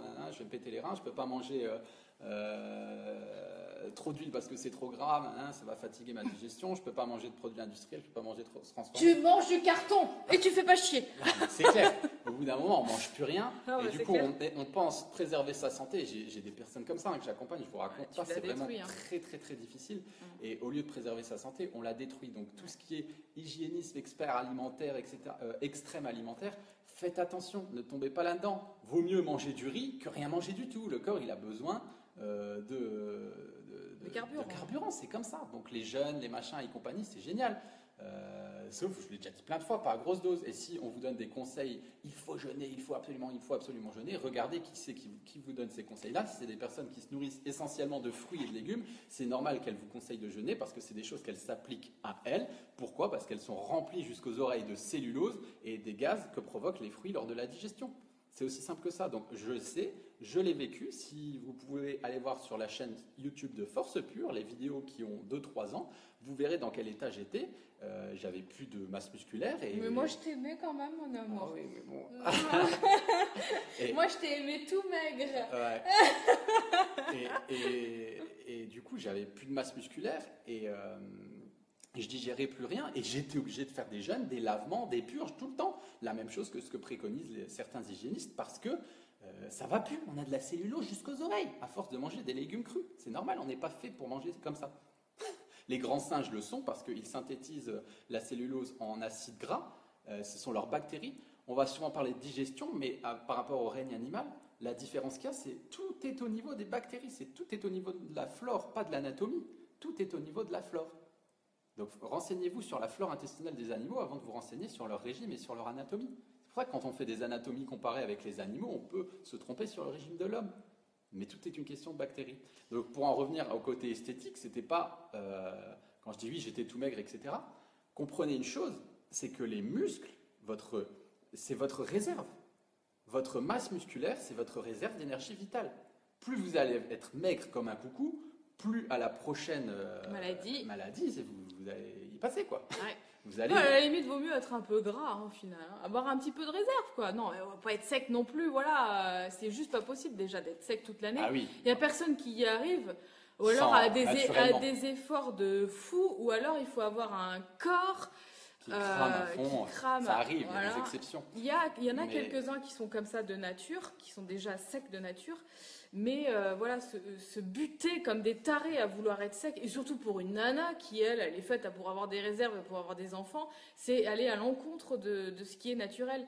Euh, voilà, il faut pas non plus euh, être gras comme des cochons, hein, voilà, mais il faut quand même avoir un, un petit taux de masse graisseuse euh, qui est là pour, euh, pour nous protéger au final. Hein, c'est pas quelque chose de, de toxique. Mm. Attention, il y a, y a- il y a- il y a graisse et graisse, parce que tout ce qui va être graisse viscérale, c'est de la mauvaise graisse. Mais tout ce qui va être de la graisse qui nous protège naturellement, des, des bonnes graisses brunes par exemple, voilà, ça c'est pas, c'est pas quelque chose de nocif. Et je, je voulais rebondir sur une question euh, de Patrick qui disait justement les noix du Brésil, euh, est-ce que aussi euh, on les fait tremper parce que lui il fait tremper que les amandes et pas les autres? Bah, les amandes, c'est bien de les faire tremper parce que souvent dans la, c'est dans la peau en fait qu'on retrouve beaucoup de, tanins qui sont un petit peu irritants pour les intestins, surtout chez certaines personnes. Euh, mais c'est vrai que moi, tu vois, je mange des noix du Brésil aussi, mais comme j'en mange une par jour pour avoir mon sélénium par exemple, euh, bah, c'est quelque chose que je fais pas tremper. Bon, voilà, c'est comme ça, mais c'est vrai que c'est pas bête de les faire tremper aussi. Il faut faire attention avec les oléagineux parce que c'est vrai qu'il y a aussi beaucoup, beaucoup de, de moisissures qui sont Ouais, euh, au dessus. moins les, les laver un peu quoi. Voilà, même si on les lave, euh, mais bon, vaut, mieux enlever la peau. Voilà, si on peut, les amandes, euh, on enlève la peau et euh, c'est quand même, c'est quand même le mieux. Le tofu lacto fermenté, bah oui, c'est très bien d'en consommer de temps en temps, pourquoi pas, il n'y a pas de souci. Bien sûr. Ça, ça varie aussi. Euh, bah oui, il y a justement Anto qui te répond que ça concerne tous les oléagineux. Bien sûr que ça concerne tous les oléagineux. Après, ça dépend. Si tu manges un paquet entier de noix du Brésil, je te dirais oui, il faut les tremper. Après, si tu en manges une de temps en temps, voilà, c'est, on va pas. hein. Euh, bah, tiens, il y a justement euh, Florian qui dit qu'il est mort à 60 ans Ouais. et qu'il pense personnellement qu'il mangeait trop de soja cru notamment Mm. et euh, effet bien connu de l'hyperplasie du pancréas. Exactement. Mm. Mais ces patients vont beaucoup mieux, bah, tant mieux pour eux. Ensuite, une autre question d'Anto, et je ne sais pas du tout qu'est-ce que c'est. Que penses-tu du kit chari? Chari, c'est le repas indien là. des- Haricots Ouais. mongo C'est un mélange. et riz. Le repas détox des Indiens. Je- je- J'ai déjà entendu, mais je vois pas trop à quoi ça ressemble. Donc je suis désolé, je peux pas, on peut pas te répondre. Ah, c'est bien, on en apprend tous les Ah jours. bah oui, c'est clair. Merci. moi, je vous Merci, adore, moi. moi. Du coup, je vais le noter sur mes trucs à rechercher. La nana qui arrête jamais ses recherches, tu sais. Oh, Pauline Douce Frugalité. Oh, bon, je n'ai pas vu vos vidéos avec Pauline Douce Frugalité. Du coup, je me demandais ce que vous pensiez du fait qu'elle soit végétarienne et sportive depuis 6 ans, végétalienne. Mais moi, quand elle était à la maison, euh, elle mangeait des œufs. Donc, bon, si on peut appeler ça végétalien, oui, oui pourquoi pas. Après, euh, je sais pas. Je, je- T'as un avis à donner? Oh bon non, après, euh, pff, chacun, euh, chacun fait ce qu'il veut, et puis après, euh, chacun voit midi à sa porte, et chacun s'alimente un petit peu comme, il le, comme bon lui semble. Après, Bah, si ça lui va, tant mieux pour si- hein. et puis après, comme on l'expliquait, il y a plein de, plein de morphologies différentes, plein de morphotypes différents, et si ça fonctionne bien comme ça, bah, tant mieux. Bah, si ça fonctionne pour elle. Après, voilà, je sais pas. Je, sais pas. Moi, je- du coup, euh, je la suis plus trop vraiment non plus, mais voilà, je me demande toujours comment ça va finir. Parce que je sais pas comment on peut tenir aussi longtemps sur une alimentation euh, végétalienne à 100%. Euh, après, quand tu vas dans les restaurants tous les jours comme ça, je suis pas persuadée qu'ils te mettent pas des trucs dedans, des fois. Enfin bon, bref. Vu, des fois, ils nous mettent des- du. Même i- ici, euh, je veux dire, en France, on a réussi à avoir des lasagnes avec du cheval, alors qu'on n'était pas censé en avoir dedans. Je suis pas sûre que dans les pays comme ça, ils fassent vraiment attention de ne pas mettre Ah, du tu tout, veux dire du dans tout le de produits vegan, animaux. je hein. crois qu'ils mettent. euh, Ouais. Moi, ma foi, je sais pas. Euh, le meilleur régime n'est-il pas l'amour et l'eau fraîche? Et si seulement on pouvait faire que ça, moi je serais trop contente. Ouais, clair. Ça serait moins un casse-tête de s'alimenter, de dire est-ce que ça, ça va passer? Est-ce que si je mange ça, je vais péter? Est-ce que je vais faire monter? Est-ce que ça va aller? Est-ce que machin? Est-ce que je vais avoir la forme? Est-ce que je vais être bien? Oh, et puis ce casse-tête tout le temps d'aller chercher à manger, d'aller payer les courses, d'aller trouver des aliments les moins transformés possibles, de lire les étiquettes, de faire attention à ce que, à ce que ce soit bien bio et machin. C'est vrai que c'est un vrai casse-tête chinois de manger. hein. Si, euh, si franchement, euh, pff, moi j'ai- j'aime manger. hein. Voilà, moi j'aime le côté de manger.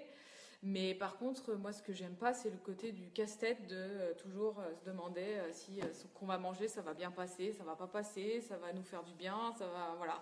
Bah après, il faut pas trop intellectualiser Non, les choses. c'est parce que c'est sûr. en, intellectualis- en intellectualisant les choses, comme je disais, qu'on tombe dans l'orthorexie. Bah ouais. Mais nous, après, on, est, on pas- est tombé dans l'orthorexie à cause d'avoir eu une alimentation trop santé. Là, maintenant, moi, je me pose des questions parce que justement, j'ai été trop dans l'alimentation santé. Je pense que si j'avais été dans l'alimentation intuitive depuis le départ, j'aurais continué à manger comme je mangeais et tout allait bien. hein. Mais voilà, de, de vouloir. euh, C'est un équilibre après, parce qu'on a été trop dans l'alimentation industrielle, comme tout le monde, on a voulu se guérir comme ça, donc forcément, on est Bah passé par des. Bah, à force de. Bah, on, a tellement rejeté en fait tout ce qui était industriel parce que on avait été malade avec ça, euh, peu importe après euh, ce qu'on a eu les uns les autres. Mais on a eu ce côté où on a eu un rejet total en fait de cette alimentation industrielle pour aller vers de l'ultra sain et pour aller euh, vraiment vers de l'hypotoxique au possible et tellement euh, sain que bah, on s'est flingué dans l'autre sens en fait. Et maintenant on est en train d'essayer tous de rattraper un peu le tir euh, tout doucement en ayant une alimentation euh, normale mais non transformée quoi. Exactement. C'est pour ça qu'après l'alimentation ancestrale, paléo, euh, sans euh, grosses évictions, Mm. c'est ce qui convient euh, quand même à, à pas mal de personnes. hein. Ouais. D'ailleurs, sur, sur le groupe Change ta vie et tout ça, beaucoup de personnes se sont, se sont mises à, au paléo et ont de super bons résultats. Mm, mm. Après, il y a paléo et paléo. hein.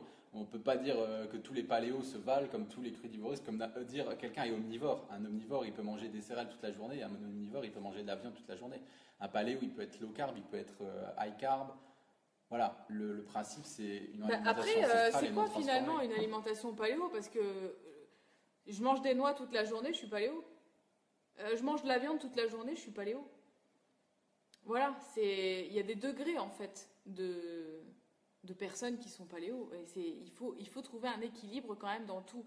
Et euh, diaboliser euh, un des trois euh, macronutriments pour moi c'est pas quelque chose de bien. Ouais, Donc enlever complètement les glucides, je suis pas d'accord. Enlever complètement les protéines, je suis pas d'accord. Et enlever complètement les lipides, je suis pas d'accord. Donc il faut avoir un petit peu de tout en proportion.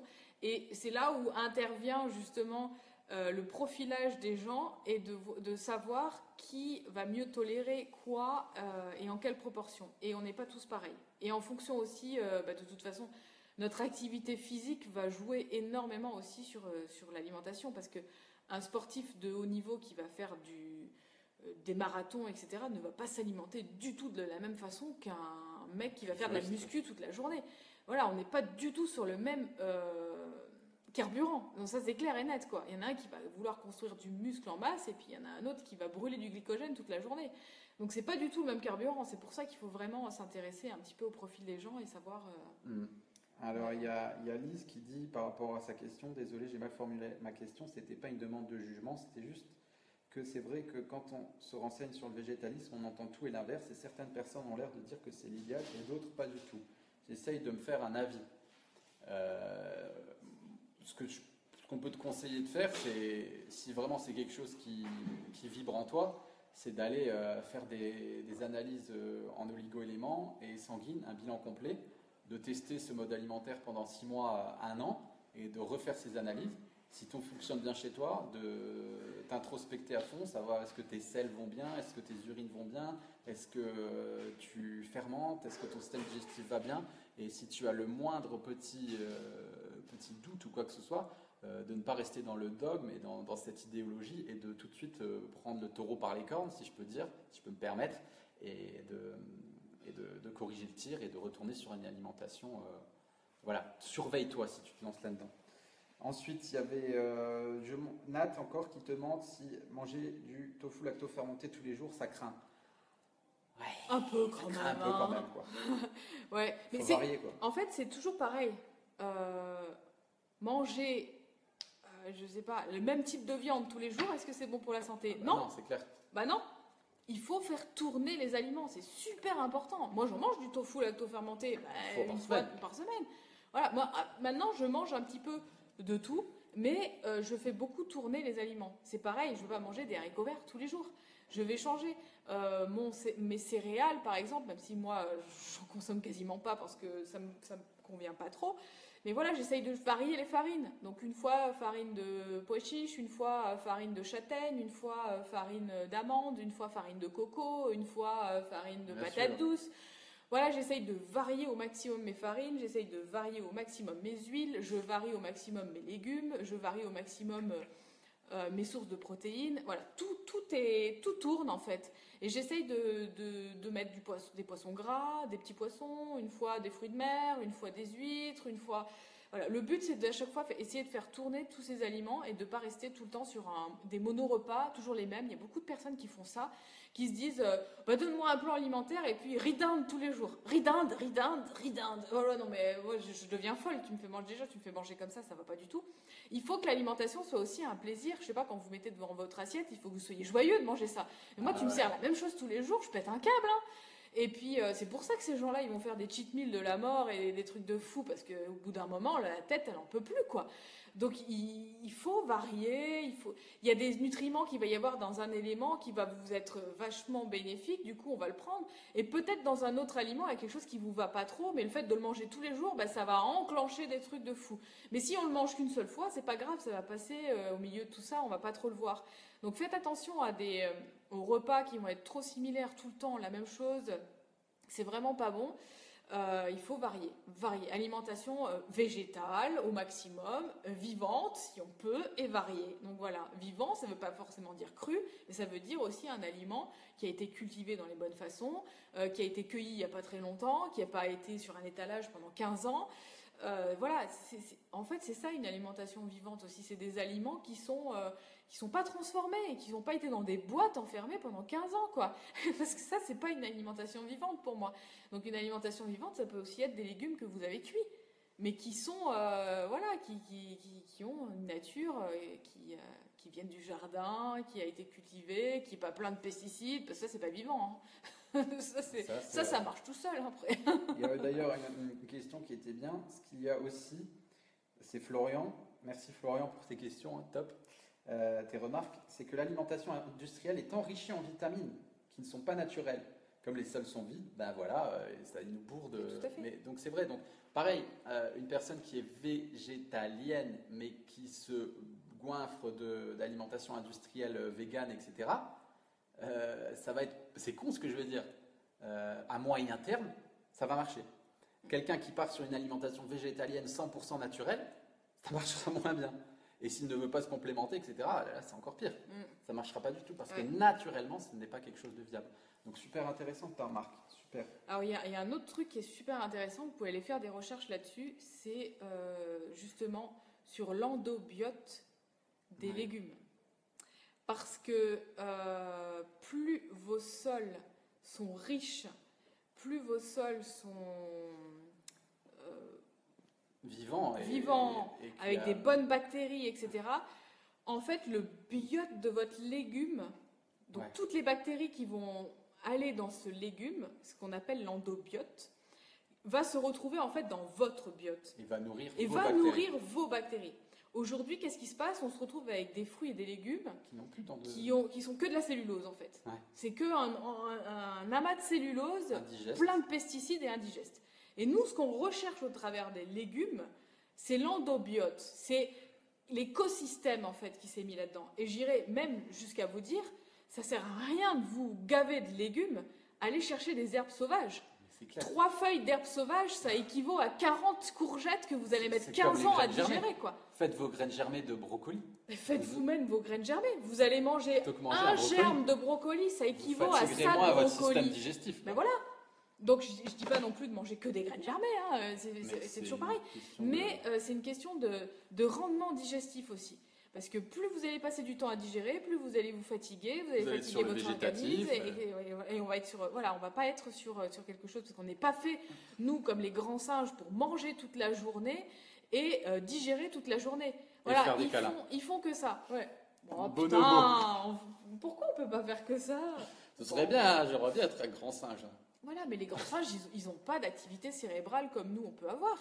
C'est nous, on est, on est vraiment des, on a notre cerveau qui fonctionne en premier. Mais là, eux, ils sont sur le mode végétatif. Donc toute la journée, ils, ils font Ils que des ça. Et ils font que ça, ils dormir, puces. dormir, euh, euh, voilà, et manger et, et chier quoi, et, il y avait- digérer. Il y avait un Et super voilà, mais nous, nous, on fait pas ça. On, on- on mange euh, nos repas, mais après le reste du temps, on doit, on doit pouvoir vaquer à nos occupations. Donc faites vos recherches sur l'endobiote euh, de vos fruits et de vos légumes. Et c'est ce qui va être le plus important. Ça sert à rien de manger une quantité astronomique de légumes dans vos assiettes si dedans il n'y a plus rien. Bah oui. Ça sert à rien. Donc, euh, et même l'entre-deux, le- entre le cru et le cuit, ben, il n'y a rien, quoi. Donc, euh, il faudrait, c'est soit on mange cuit complètement, soit on mange cru, mais euh, le man- manger entre les deux, euh, on prend tous les mauvaises choses du cru et tous les, tous les, effets négatifs du cuit, en fait. Parce qu'en fait, on enlève toutes les vitamines et au final, euh, c'est pas vraiment cuit et puis euh, il y a des personnes qui le tolèrent pas. Donc, après, c'est une question de tolérance aussi. hein, des personnes qui, tolèrent très bien tout ce qui va être euh, cru en petite quantité et il y a d'autres personnes qui le toléreront pas. Donc, pour les personnes qui tolèrent très mal le cru, donc il y a deux, y a deux choses à faire. Donc, soit un, on élimine le cru en attendant de refaire le biote intestinal, donc on mange énormément cuit et surtout on blanchit, euh, on blanchit les légumes. La deuxième étape, c'est d'incorporer des jus de légumes frais au milieu du repas pour les personnes encore qui sont encore assez sensibles en petite quantité. Après, éventuellement, on peut boire son jus en début de repas quand ça ira un petit peu mieux. Et quand le biote est refait, etc., et qu'on n'a plus les intestins complètement irrités, ben là, à ce moment-là, on peut réintégrer du cru dans le repas cuit. Donc, on va couper, par exemple, quelques lamelles de, de carottes crues, ou voilà, mais vraiment un petit peu, euh, quelques herbes, etc. Et après, une fois qu'on retolérera mieux le cru, ben, on pourra en mange- manger une petite salade en début de repas, mais seulement à ce moment-là, quand on enlèvera les intestins qui seront plus irrités. Donc ça, c'est des petites étapes en fait qu'on peut faire euh, quand on veut quand même avoir des micronutriments, parce qu'on est d'accord qu'il faut quand même Des des, mi- des micronutriments dans notre alimentation. Mais ce que je vous disais, ce qui est le mieux toléré, allez vous chercher des orties, j'en sais rien, euh, du Du plantain, plantain, il y en a euh, partout qui Des poussent. pissenlits. euh, Des- du pissenlit, euh, des blettes sauvages, mais moi dans le jardin, il n'y a que ça qui pousse, je plante rien et, je, ramasse que ce qu'il y a oh, dans mon, jardin. Euh, donc là ça. maintenant j'ai planté un peu de coriandre, des choses comme ça parce que j'aime. persil, Du persil, des l'ail voilà. des ours, il y en a ouais, partout. voilà. Mais allez le plus possible dans la nature chercher vos plantes sauvages. Je veux dire, à l'époque, euh, on, on mangeait pas des courgettes comme ça à foison. Enfin, je veux dire, c'est- je trouve ça débile maintenant au final d'aller cultiver autant, autant. Allez manger des herbes sauvages et dedans il y aura, il y aura plus de vitamine C que dans 15 courgettes, quoi, dans, dans une herbe qui a été, qui, est- qui a poussé dans la nature. Et là, c'est un vrai biote de, de la nature, un vrai endobiote. C'est pas quelque chose qui a été cultivé dans une terre qui est, qui est à moitié morte, où il n'y a plus rien, avec des pesticides. Mais même le bio, je veux dire, c'est pour que ça pousse comme ça autant et qu'il y ait autant de magasins bio et tout. Moi, franchement, je suis pas vraiment fan, euh, je suis pas ultra sûre que les produits euh, ils soient de si bonne qualité. hein. Ouais. Donc, allez choisir vos produits dans la nature vous-même, allez chercher euh, des produits, euh, des plantes sauvages et tout, ce sera 100 fois mieux. hein. Et Daphné qui dit une très bonne euh, petite remarque, l'endobiote résiste à la cuisson, donc pas obligé de se gaver de légumes crus. Très bonne remarque, euh, Ah, merci Daphné. L'endobiote résiste à la cuisson, donc pas de, de raison de manger autant de cru. Ouais. Bon bah voilà, je pense qu'on a fait le tour, ça fait presque une heure et demie. Hein. Purée, déjà? Ça passe vite. hein. Ah, Il Ouais, est oui. 9h30, hein Ouais, ils sont partis nos invités. hein. Il est 9h30, nos invités, ils sont partis, ils nous ont attendus et tout. euh. Mais nous, c'est, c'est- et c'est l'heure du câlin. Ouais, c'est l'heure de faire les C'est l'heure du câlin. C'est l'heure doudous. Je l'entends, le dodo. Ouais. Bon, bah merci pour tout ça. hein. pour nous avoir écoutés. Ouais. Alain qui dit qu'il faudrait repérer les plantes sauvages comestibles, il existe des applications. Ben, nous, on a. J'ai un bouquin là-dessus. Et c'est super bien. Et euh, ça, il bah, faut, faut, vous y intéresser de toute façon parce qu'il y a plein plein de choses euh, qui sont super. C'est quoi? Hein? Bisous. Et euh, donc pas de souci, ouais ouais, allez-y. Bon, faites attention, hein, finissez pas comme Into the Wild. Parce que lui, il était à fond à la nature aussi, puis il s'est planté, il n'a pas mangé la bonne plante, et puis à la fin, il, il a passé l'arme à gauche. Comment il s'appelait déjà dans le film? Je sais plus comment il s'appelait. Mais euh, voilà, il est excellent d'ailleurs ce film. Si vous ne l'avez pas vu, euh, je vous encourage vraiment à aller le voir. Euh, donc voilà, ben, allez marcher un peu plus dans la forêt. Déjà, ça va vous oxygéner la tête. Cueillez vos, plantes sauvages. Il y a plein de baies. Je vois tout le temps des, bah des murs, des, même des framboises. On a trouvé des framboises, des mm. fraises sauvages qui poussaient. Donc il y a de quoi faire. Ça, c'est les mm. meilleurs fruits. On a presque. Bah oui, non mais voilà, ça c'est des trucs qu'il faut. Ouais. Allez-y, allez-y. Donc, Merci pour tous vos messages. Là, j'ai des super messages dans les questions de, remerciements et tout ça. Euh, voilà, on, qui nous indiquent qu'on vous pousse à vous poser des questions sur l'alimentation. Et bon, bah, c'est un petit peu juste notre but. Et en fait, euh, on, est, on, on, en est tous au même point. Hein. On n'est pas, on n'a pas des, des, facultés ou quoi que ce bah, soit. En fait, je pense que chacun à notre niveau, on reprend les travaux qui ont déjà été faits, parce qu'il y a déjà un travail énorme qui a été fait là-dessus. Nous, on est là pour reprendre un petit peu tous les travaux de tout le monde. Kousmine, euh, Tati Lower, euh, Masson, euh, les, tous les gens qui se sont intéressés à la nutrition, Frangilin, voilà, tout ça. Et, mettre tout bout à bout, essayer de comprendre, essayer de, de, tout assimiler, de faire un gros melting pot de tout ça, et puis d'encore plus aller plus loin dans les recherches et dans, dans dans l'introspection aussi de soi-même, parce que ça c'est super important, et c'est ce que vous faites de plus en plus maintenant, grâce à tout ça, grâce à Internet, grâce aux livres qu'on a aujourd'hui, grâce à toute la connaissance qu'on a, grâce aux gens aussi qui, comme nous, font des expériences et partagent et disent, bah j'ai testé ça et ça et ça m'a fait ça et ça. ah bah tiens, moi aussi, moi aussi, ah mais moi aussi, moi aussi. Il y a plein de gens qui gagnent du temps. Et puis, euh, du coup, il y a plein de gens aussi qui me contactent et me disent Ah, bah, heureusement que tu l'as dit parce que j'avais la même chose. Et puis, du coup, je ne savais pas pourquoi. Et du coup, je me suis dit Bah, tiens, je suis pas la seule. Et euh, moi, ça, me, ça met euh, des choses en lumière. Et ça, je trouve ça vraiment absolument fabuleux qu'on soit tous là dans, dans, ce bateau à faire nos, nos recherches, puisque au final, on peut plus trop faire confiance à la science. Euh, il y a trop d'enjeux maintenant. Il y a beaucoup. Non, mais déjà, il y a des enjeux financiers, premièrement. Et deuxièmement, il y a un autre enjeu qui est énorme et qu'il faut prendre en considération c'est que si on fait des tests sur moi et si on fait des tests sur Pierre, ben, on n'aura pas les mêmes résultats. Pierre, Paul ou Jacques. Non, mais, non, mais voilà, c'est ça aussi parce qu'il y a, y a le, le, morphotype de la personne à prendre en, compte aussi. Ah, Donc, si tous les tests sont faits sur des personnes que de mon, mon morphotype, on va avoir tel type de réponse mais ça va pas lui convenir à lui du coup. C'est pour ça que toutes les études se contredisent. Et toutes les études vont se contredire. Mais oui, mais combien de personnes on aura mis dans l'eau? Et puis ces personnes-là qu'on aura testées, elles auront quoi comme passé?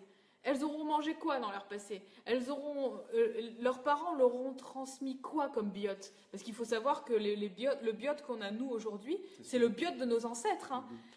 On, les, on, se, on, se, l'est euh, à chaque fois. Euh, transmis. On se le transmet mais là, aujourd'hui, qu'est-ce qui se passe? Bah, Nos biotes, ils sont de pire en pire, c'est une vraie catastrophe, et nous, on transmet ça à nos enfants.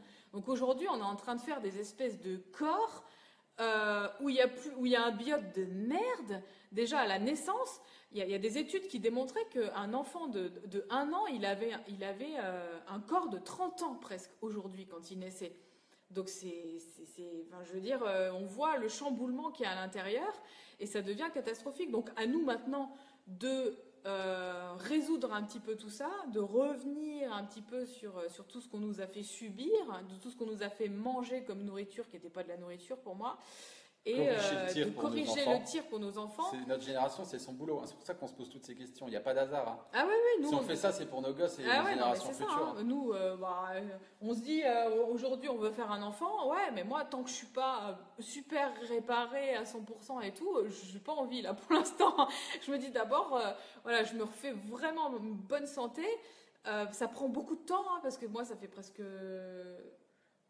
quoi un, an et demi, deux ans que j'y retravaille. Donc c'est très court par rapport à tout ce que j'ai déséquilibré. dans mon corps. Donc il faut du temps. Voilà, ça prend, ça prend du temps, mais c'est très bien parce que je vois vraiment la différence et il y a plein plein de choses qui vont beaucoup mieux donc dans mon introspection et puis et puis je, je, sais que je vais vers quelque chose de vraiment génial. Mais pour moi, après, c'est jamais assez bien. Mais voilà, ce côté aussi un peu perfectionniste où je veux vraiment arriver à être au top, euh, vraiment euh, à être bien, bien, bien en bonne santé. Et puis surtout, apprendre au fur et à mesure à connaître son corps, à comment il fonctionne et euh, tout de suite à certaines réactions sans non plus tomber dans, le, dans la phobie de moindres trucs, mais écouter les réactions et dire ah bah tiens là il m'a dit ça, donc je vais faire attention la prochaine fois et je vais voir si vraiment c'était ça ou si c'était autre chose et, ajuster le tir en fonction de, ce que notre corps nous, nous dit. Mais aujourd'hui il faut juste avoir suffisamment de recul pour être à l'écoute de tout ça et c'est vraiment pas évident parce que dans notre société euh, bah déjà on n'a pas le temps parce qu'on a des vies de dingue et puis euh, on est tout le temps il y a trop euh, d'éléments extérieurs qui peuvent perturber tout ça qui sont liés on est beaucoup sollicité et oui il faut faire très attention il n'y a pas que l'alimentation il y a énormément notre environnement qui joue aussi et si vous êtes dans un état de stress permanent votre digestion se fera très mal et euh, tout ce que vous allez manger, en fait, au lieu que ce soit bénéfique, bah, ça va être euh, négatif. Donc euh, ça, vous le savez aussi, hein, si devant votre assiette, vous vous dites ça, ça va me faire du bien, ça va m'apporter du bien, ça va me soigner, ça va me... Et, votre assiette, elle va devenir un médicament, en fait. Mais si vous dites déjà à l'avance, ah, est-ce que je vais manger, ça va être toxique et tout, bah ouais, ça va être toxique. Donc ça, c'est vachement important. Donc il y a des études qui ont été faites aussi là-dessus. Et sur, sur le riz, par exemple, avec une bouteille où on met du riz à l'intérieur, on marque amour, et une bouteille où on marque. Euh, le pouvoir des mots. Voilà, le pouvoir des mots, où on marque je te déteste, etc. Et donc il y, y, en a un qui va pourrir et l'autre qui va, qui va être bon. Donc voilà, c'est un peu la, même chose. Donc il faut vachement. C'est sûr que si tous les jours vous dites je vais pas bien, je suis pas bien, euh, je suis pas belle. Euh, euh, vous dévalorisez. J'ai beaucoup de personnes comme ça, beaucoup de femmes comme ça. Et les femmes, en général, on se met beaucoup la pression, on se met beaucoup de stress pour rien d'ailleurs. on, est, on est un peu comme ça, je sais pas pourquoi, on est à ce point-là. Mais je pense qu'il faut lâcher du lest. Quoi. Il faut lâcher du lest, accepter ce qui est. Euh, dire merci euh, déjà d'être en vie et d'être là et, d'arrêter de vouloir trop trop trop tout contrôler mais c'est vrai qu'on est on est on est peut-être un, peu trop comme ça avec, euh, bah, avec les enfants, avec tout ce qu'on a à faire, avec la famille, euh, la maison. Il faut toujours que la maison soit nickel, les enfants soient bien, et machin, et le ménage. Et, et ouais, mais à un moment donné, il euh, voilà, faut savoir lâcher prise et lâcher un peu du lest. Et c'est vrai que nous, on a tendance à être un peu comme ça. Un peu moins les hommes, quand même, sont un peu plus laxistes sur pas mal de choses. Mais nous, on se prend, on se prend bien la tête quand même. Hein, ça va? C'est pour toi que tu dis tout ça ou? Non, bah, à peine. Bah oui, mais je sais, mais en même temps, je sais qu'on est comme ça. Mais on travaille euh, avec la méditation, le yoga, avec euh, certaines euh, pratiques, d'être un peu plus dans le calme et, et l'écoute, c'est la tolérance et, et aussi la gratitude. Voilà. Bon, bah voilà, fini pour le live. Bah écoutez, on vous dit à bientôt. Je pense qu'on a répondu à pas mal de questions. C'était Toi, t'es crevé, toi. Non, non. Je te laisse, je t'écoute. Non, mais moi, si je continue, ah, c'est bon. Je sais comment aller, c'est une petite hein. de, Je m'en vais. Au revoir. allez, Molly. Bon, allez, bonne nuit tout le monde. On vous dit à la prochaine. Euh, vendredi prochain, normalement. Et puis, on vous fait de gros bisous. Ciao. Ciao.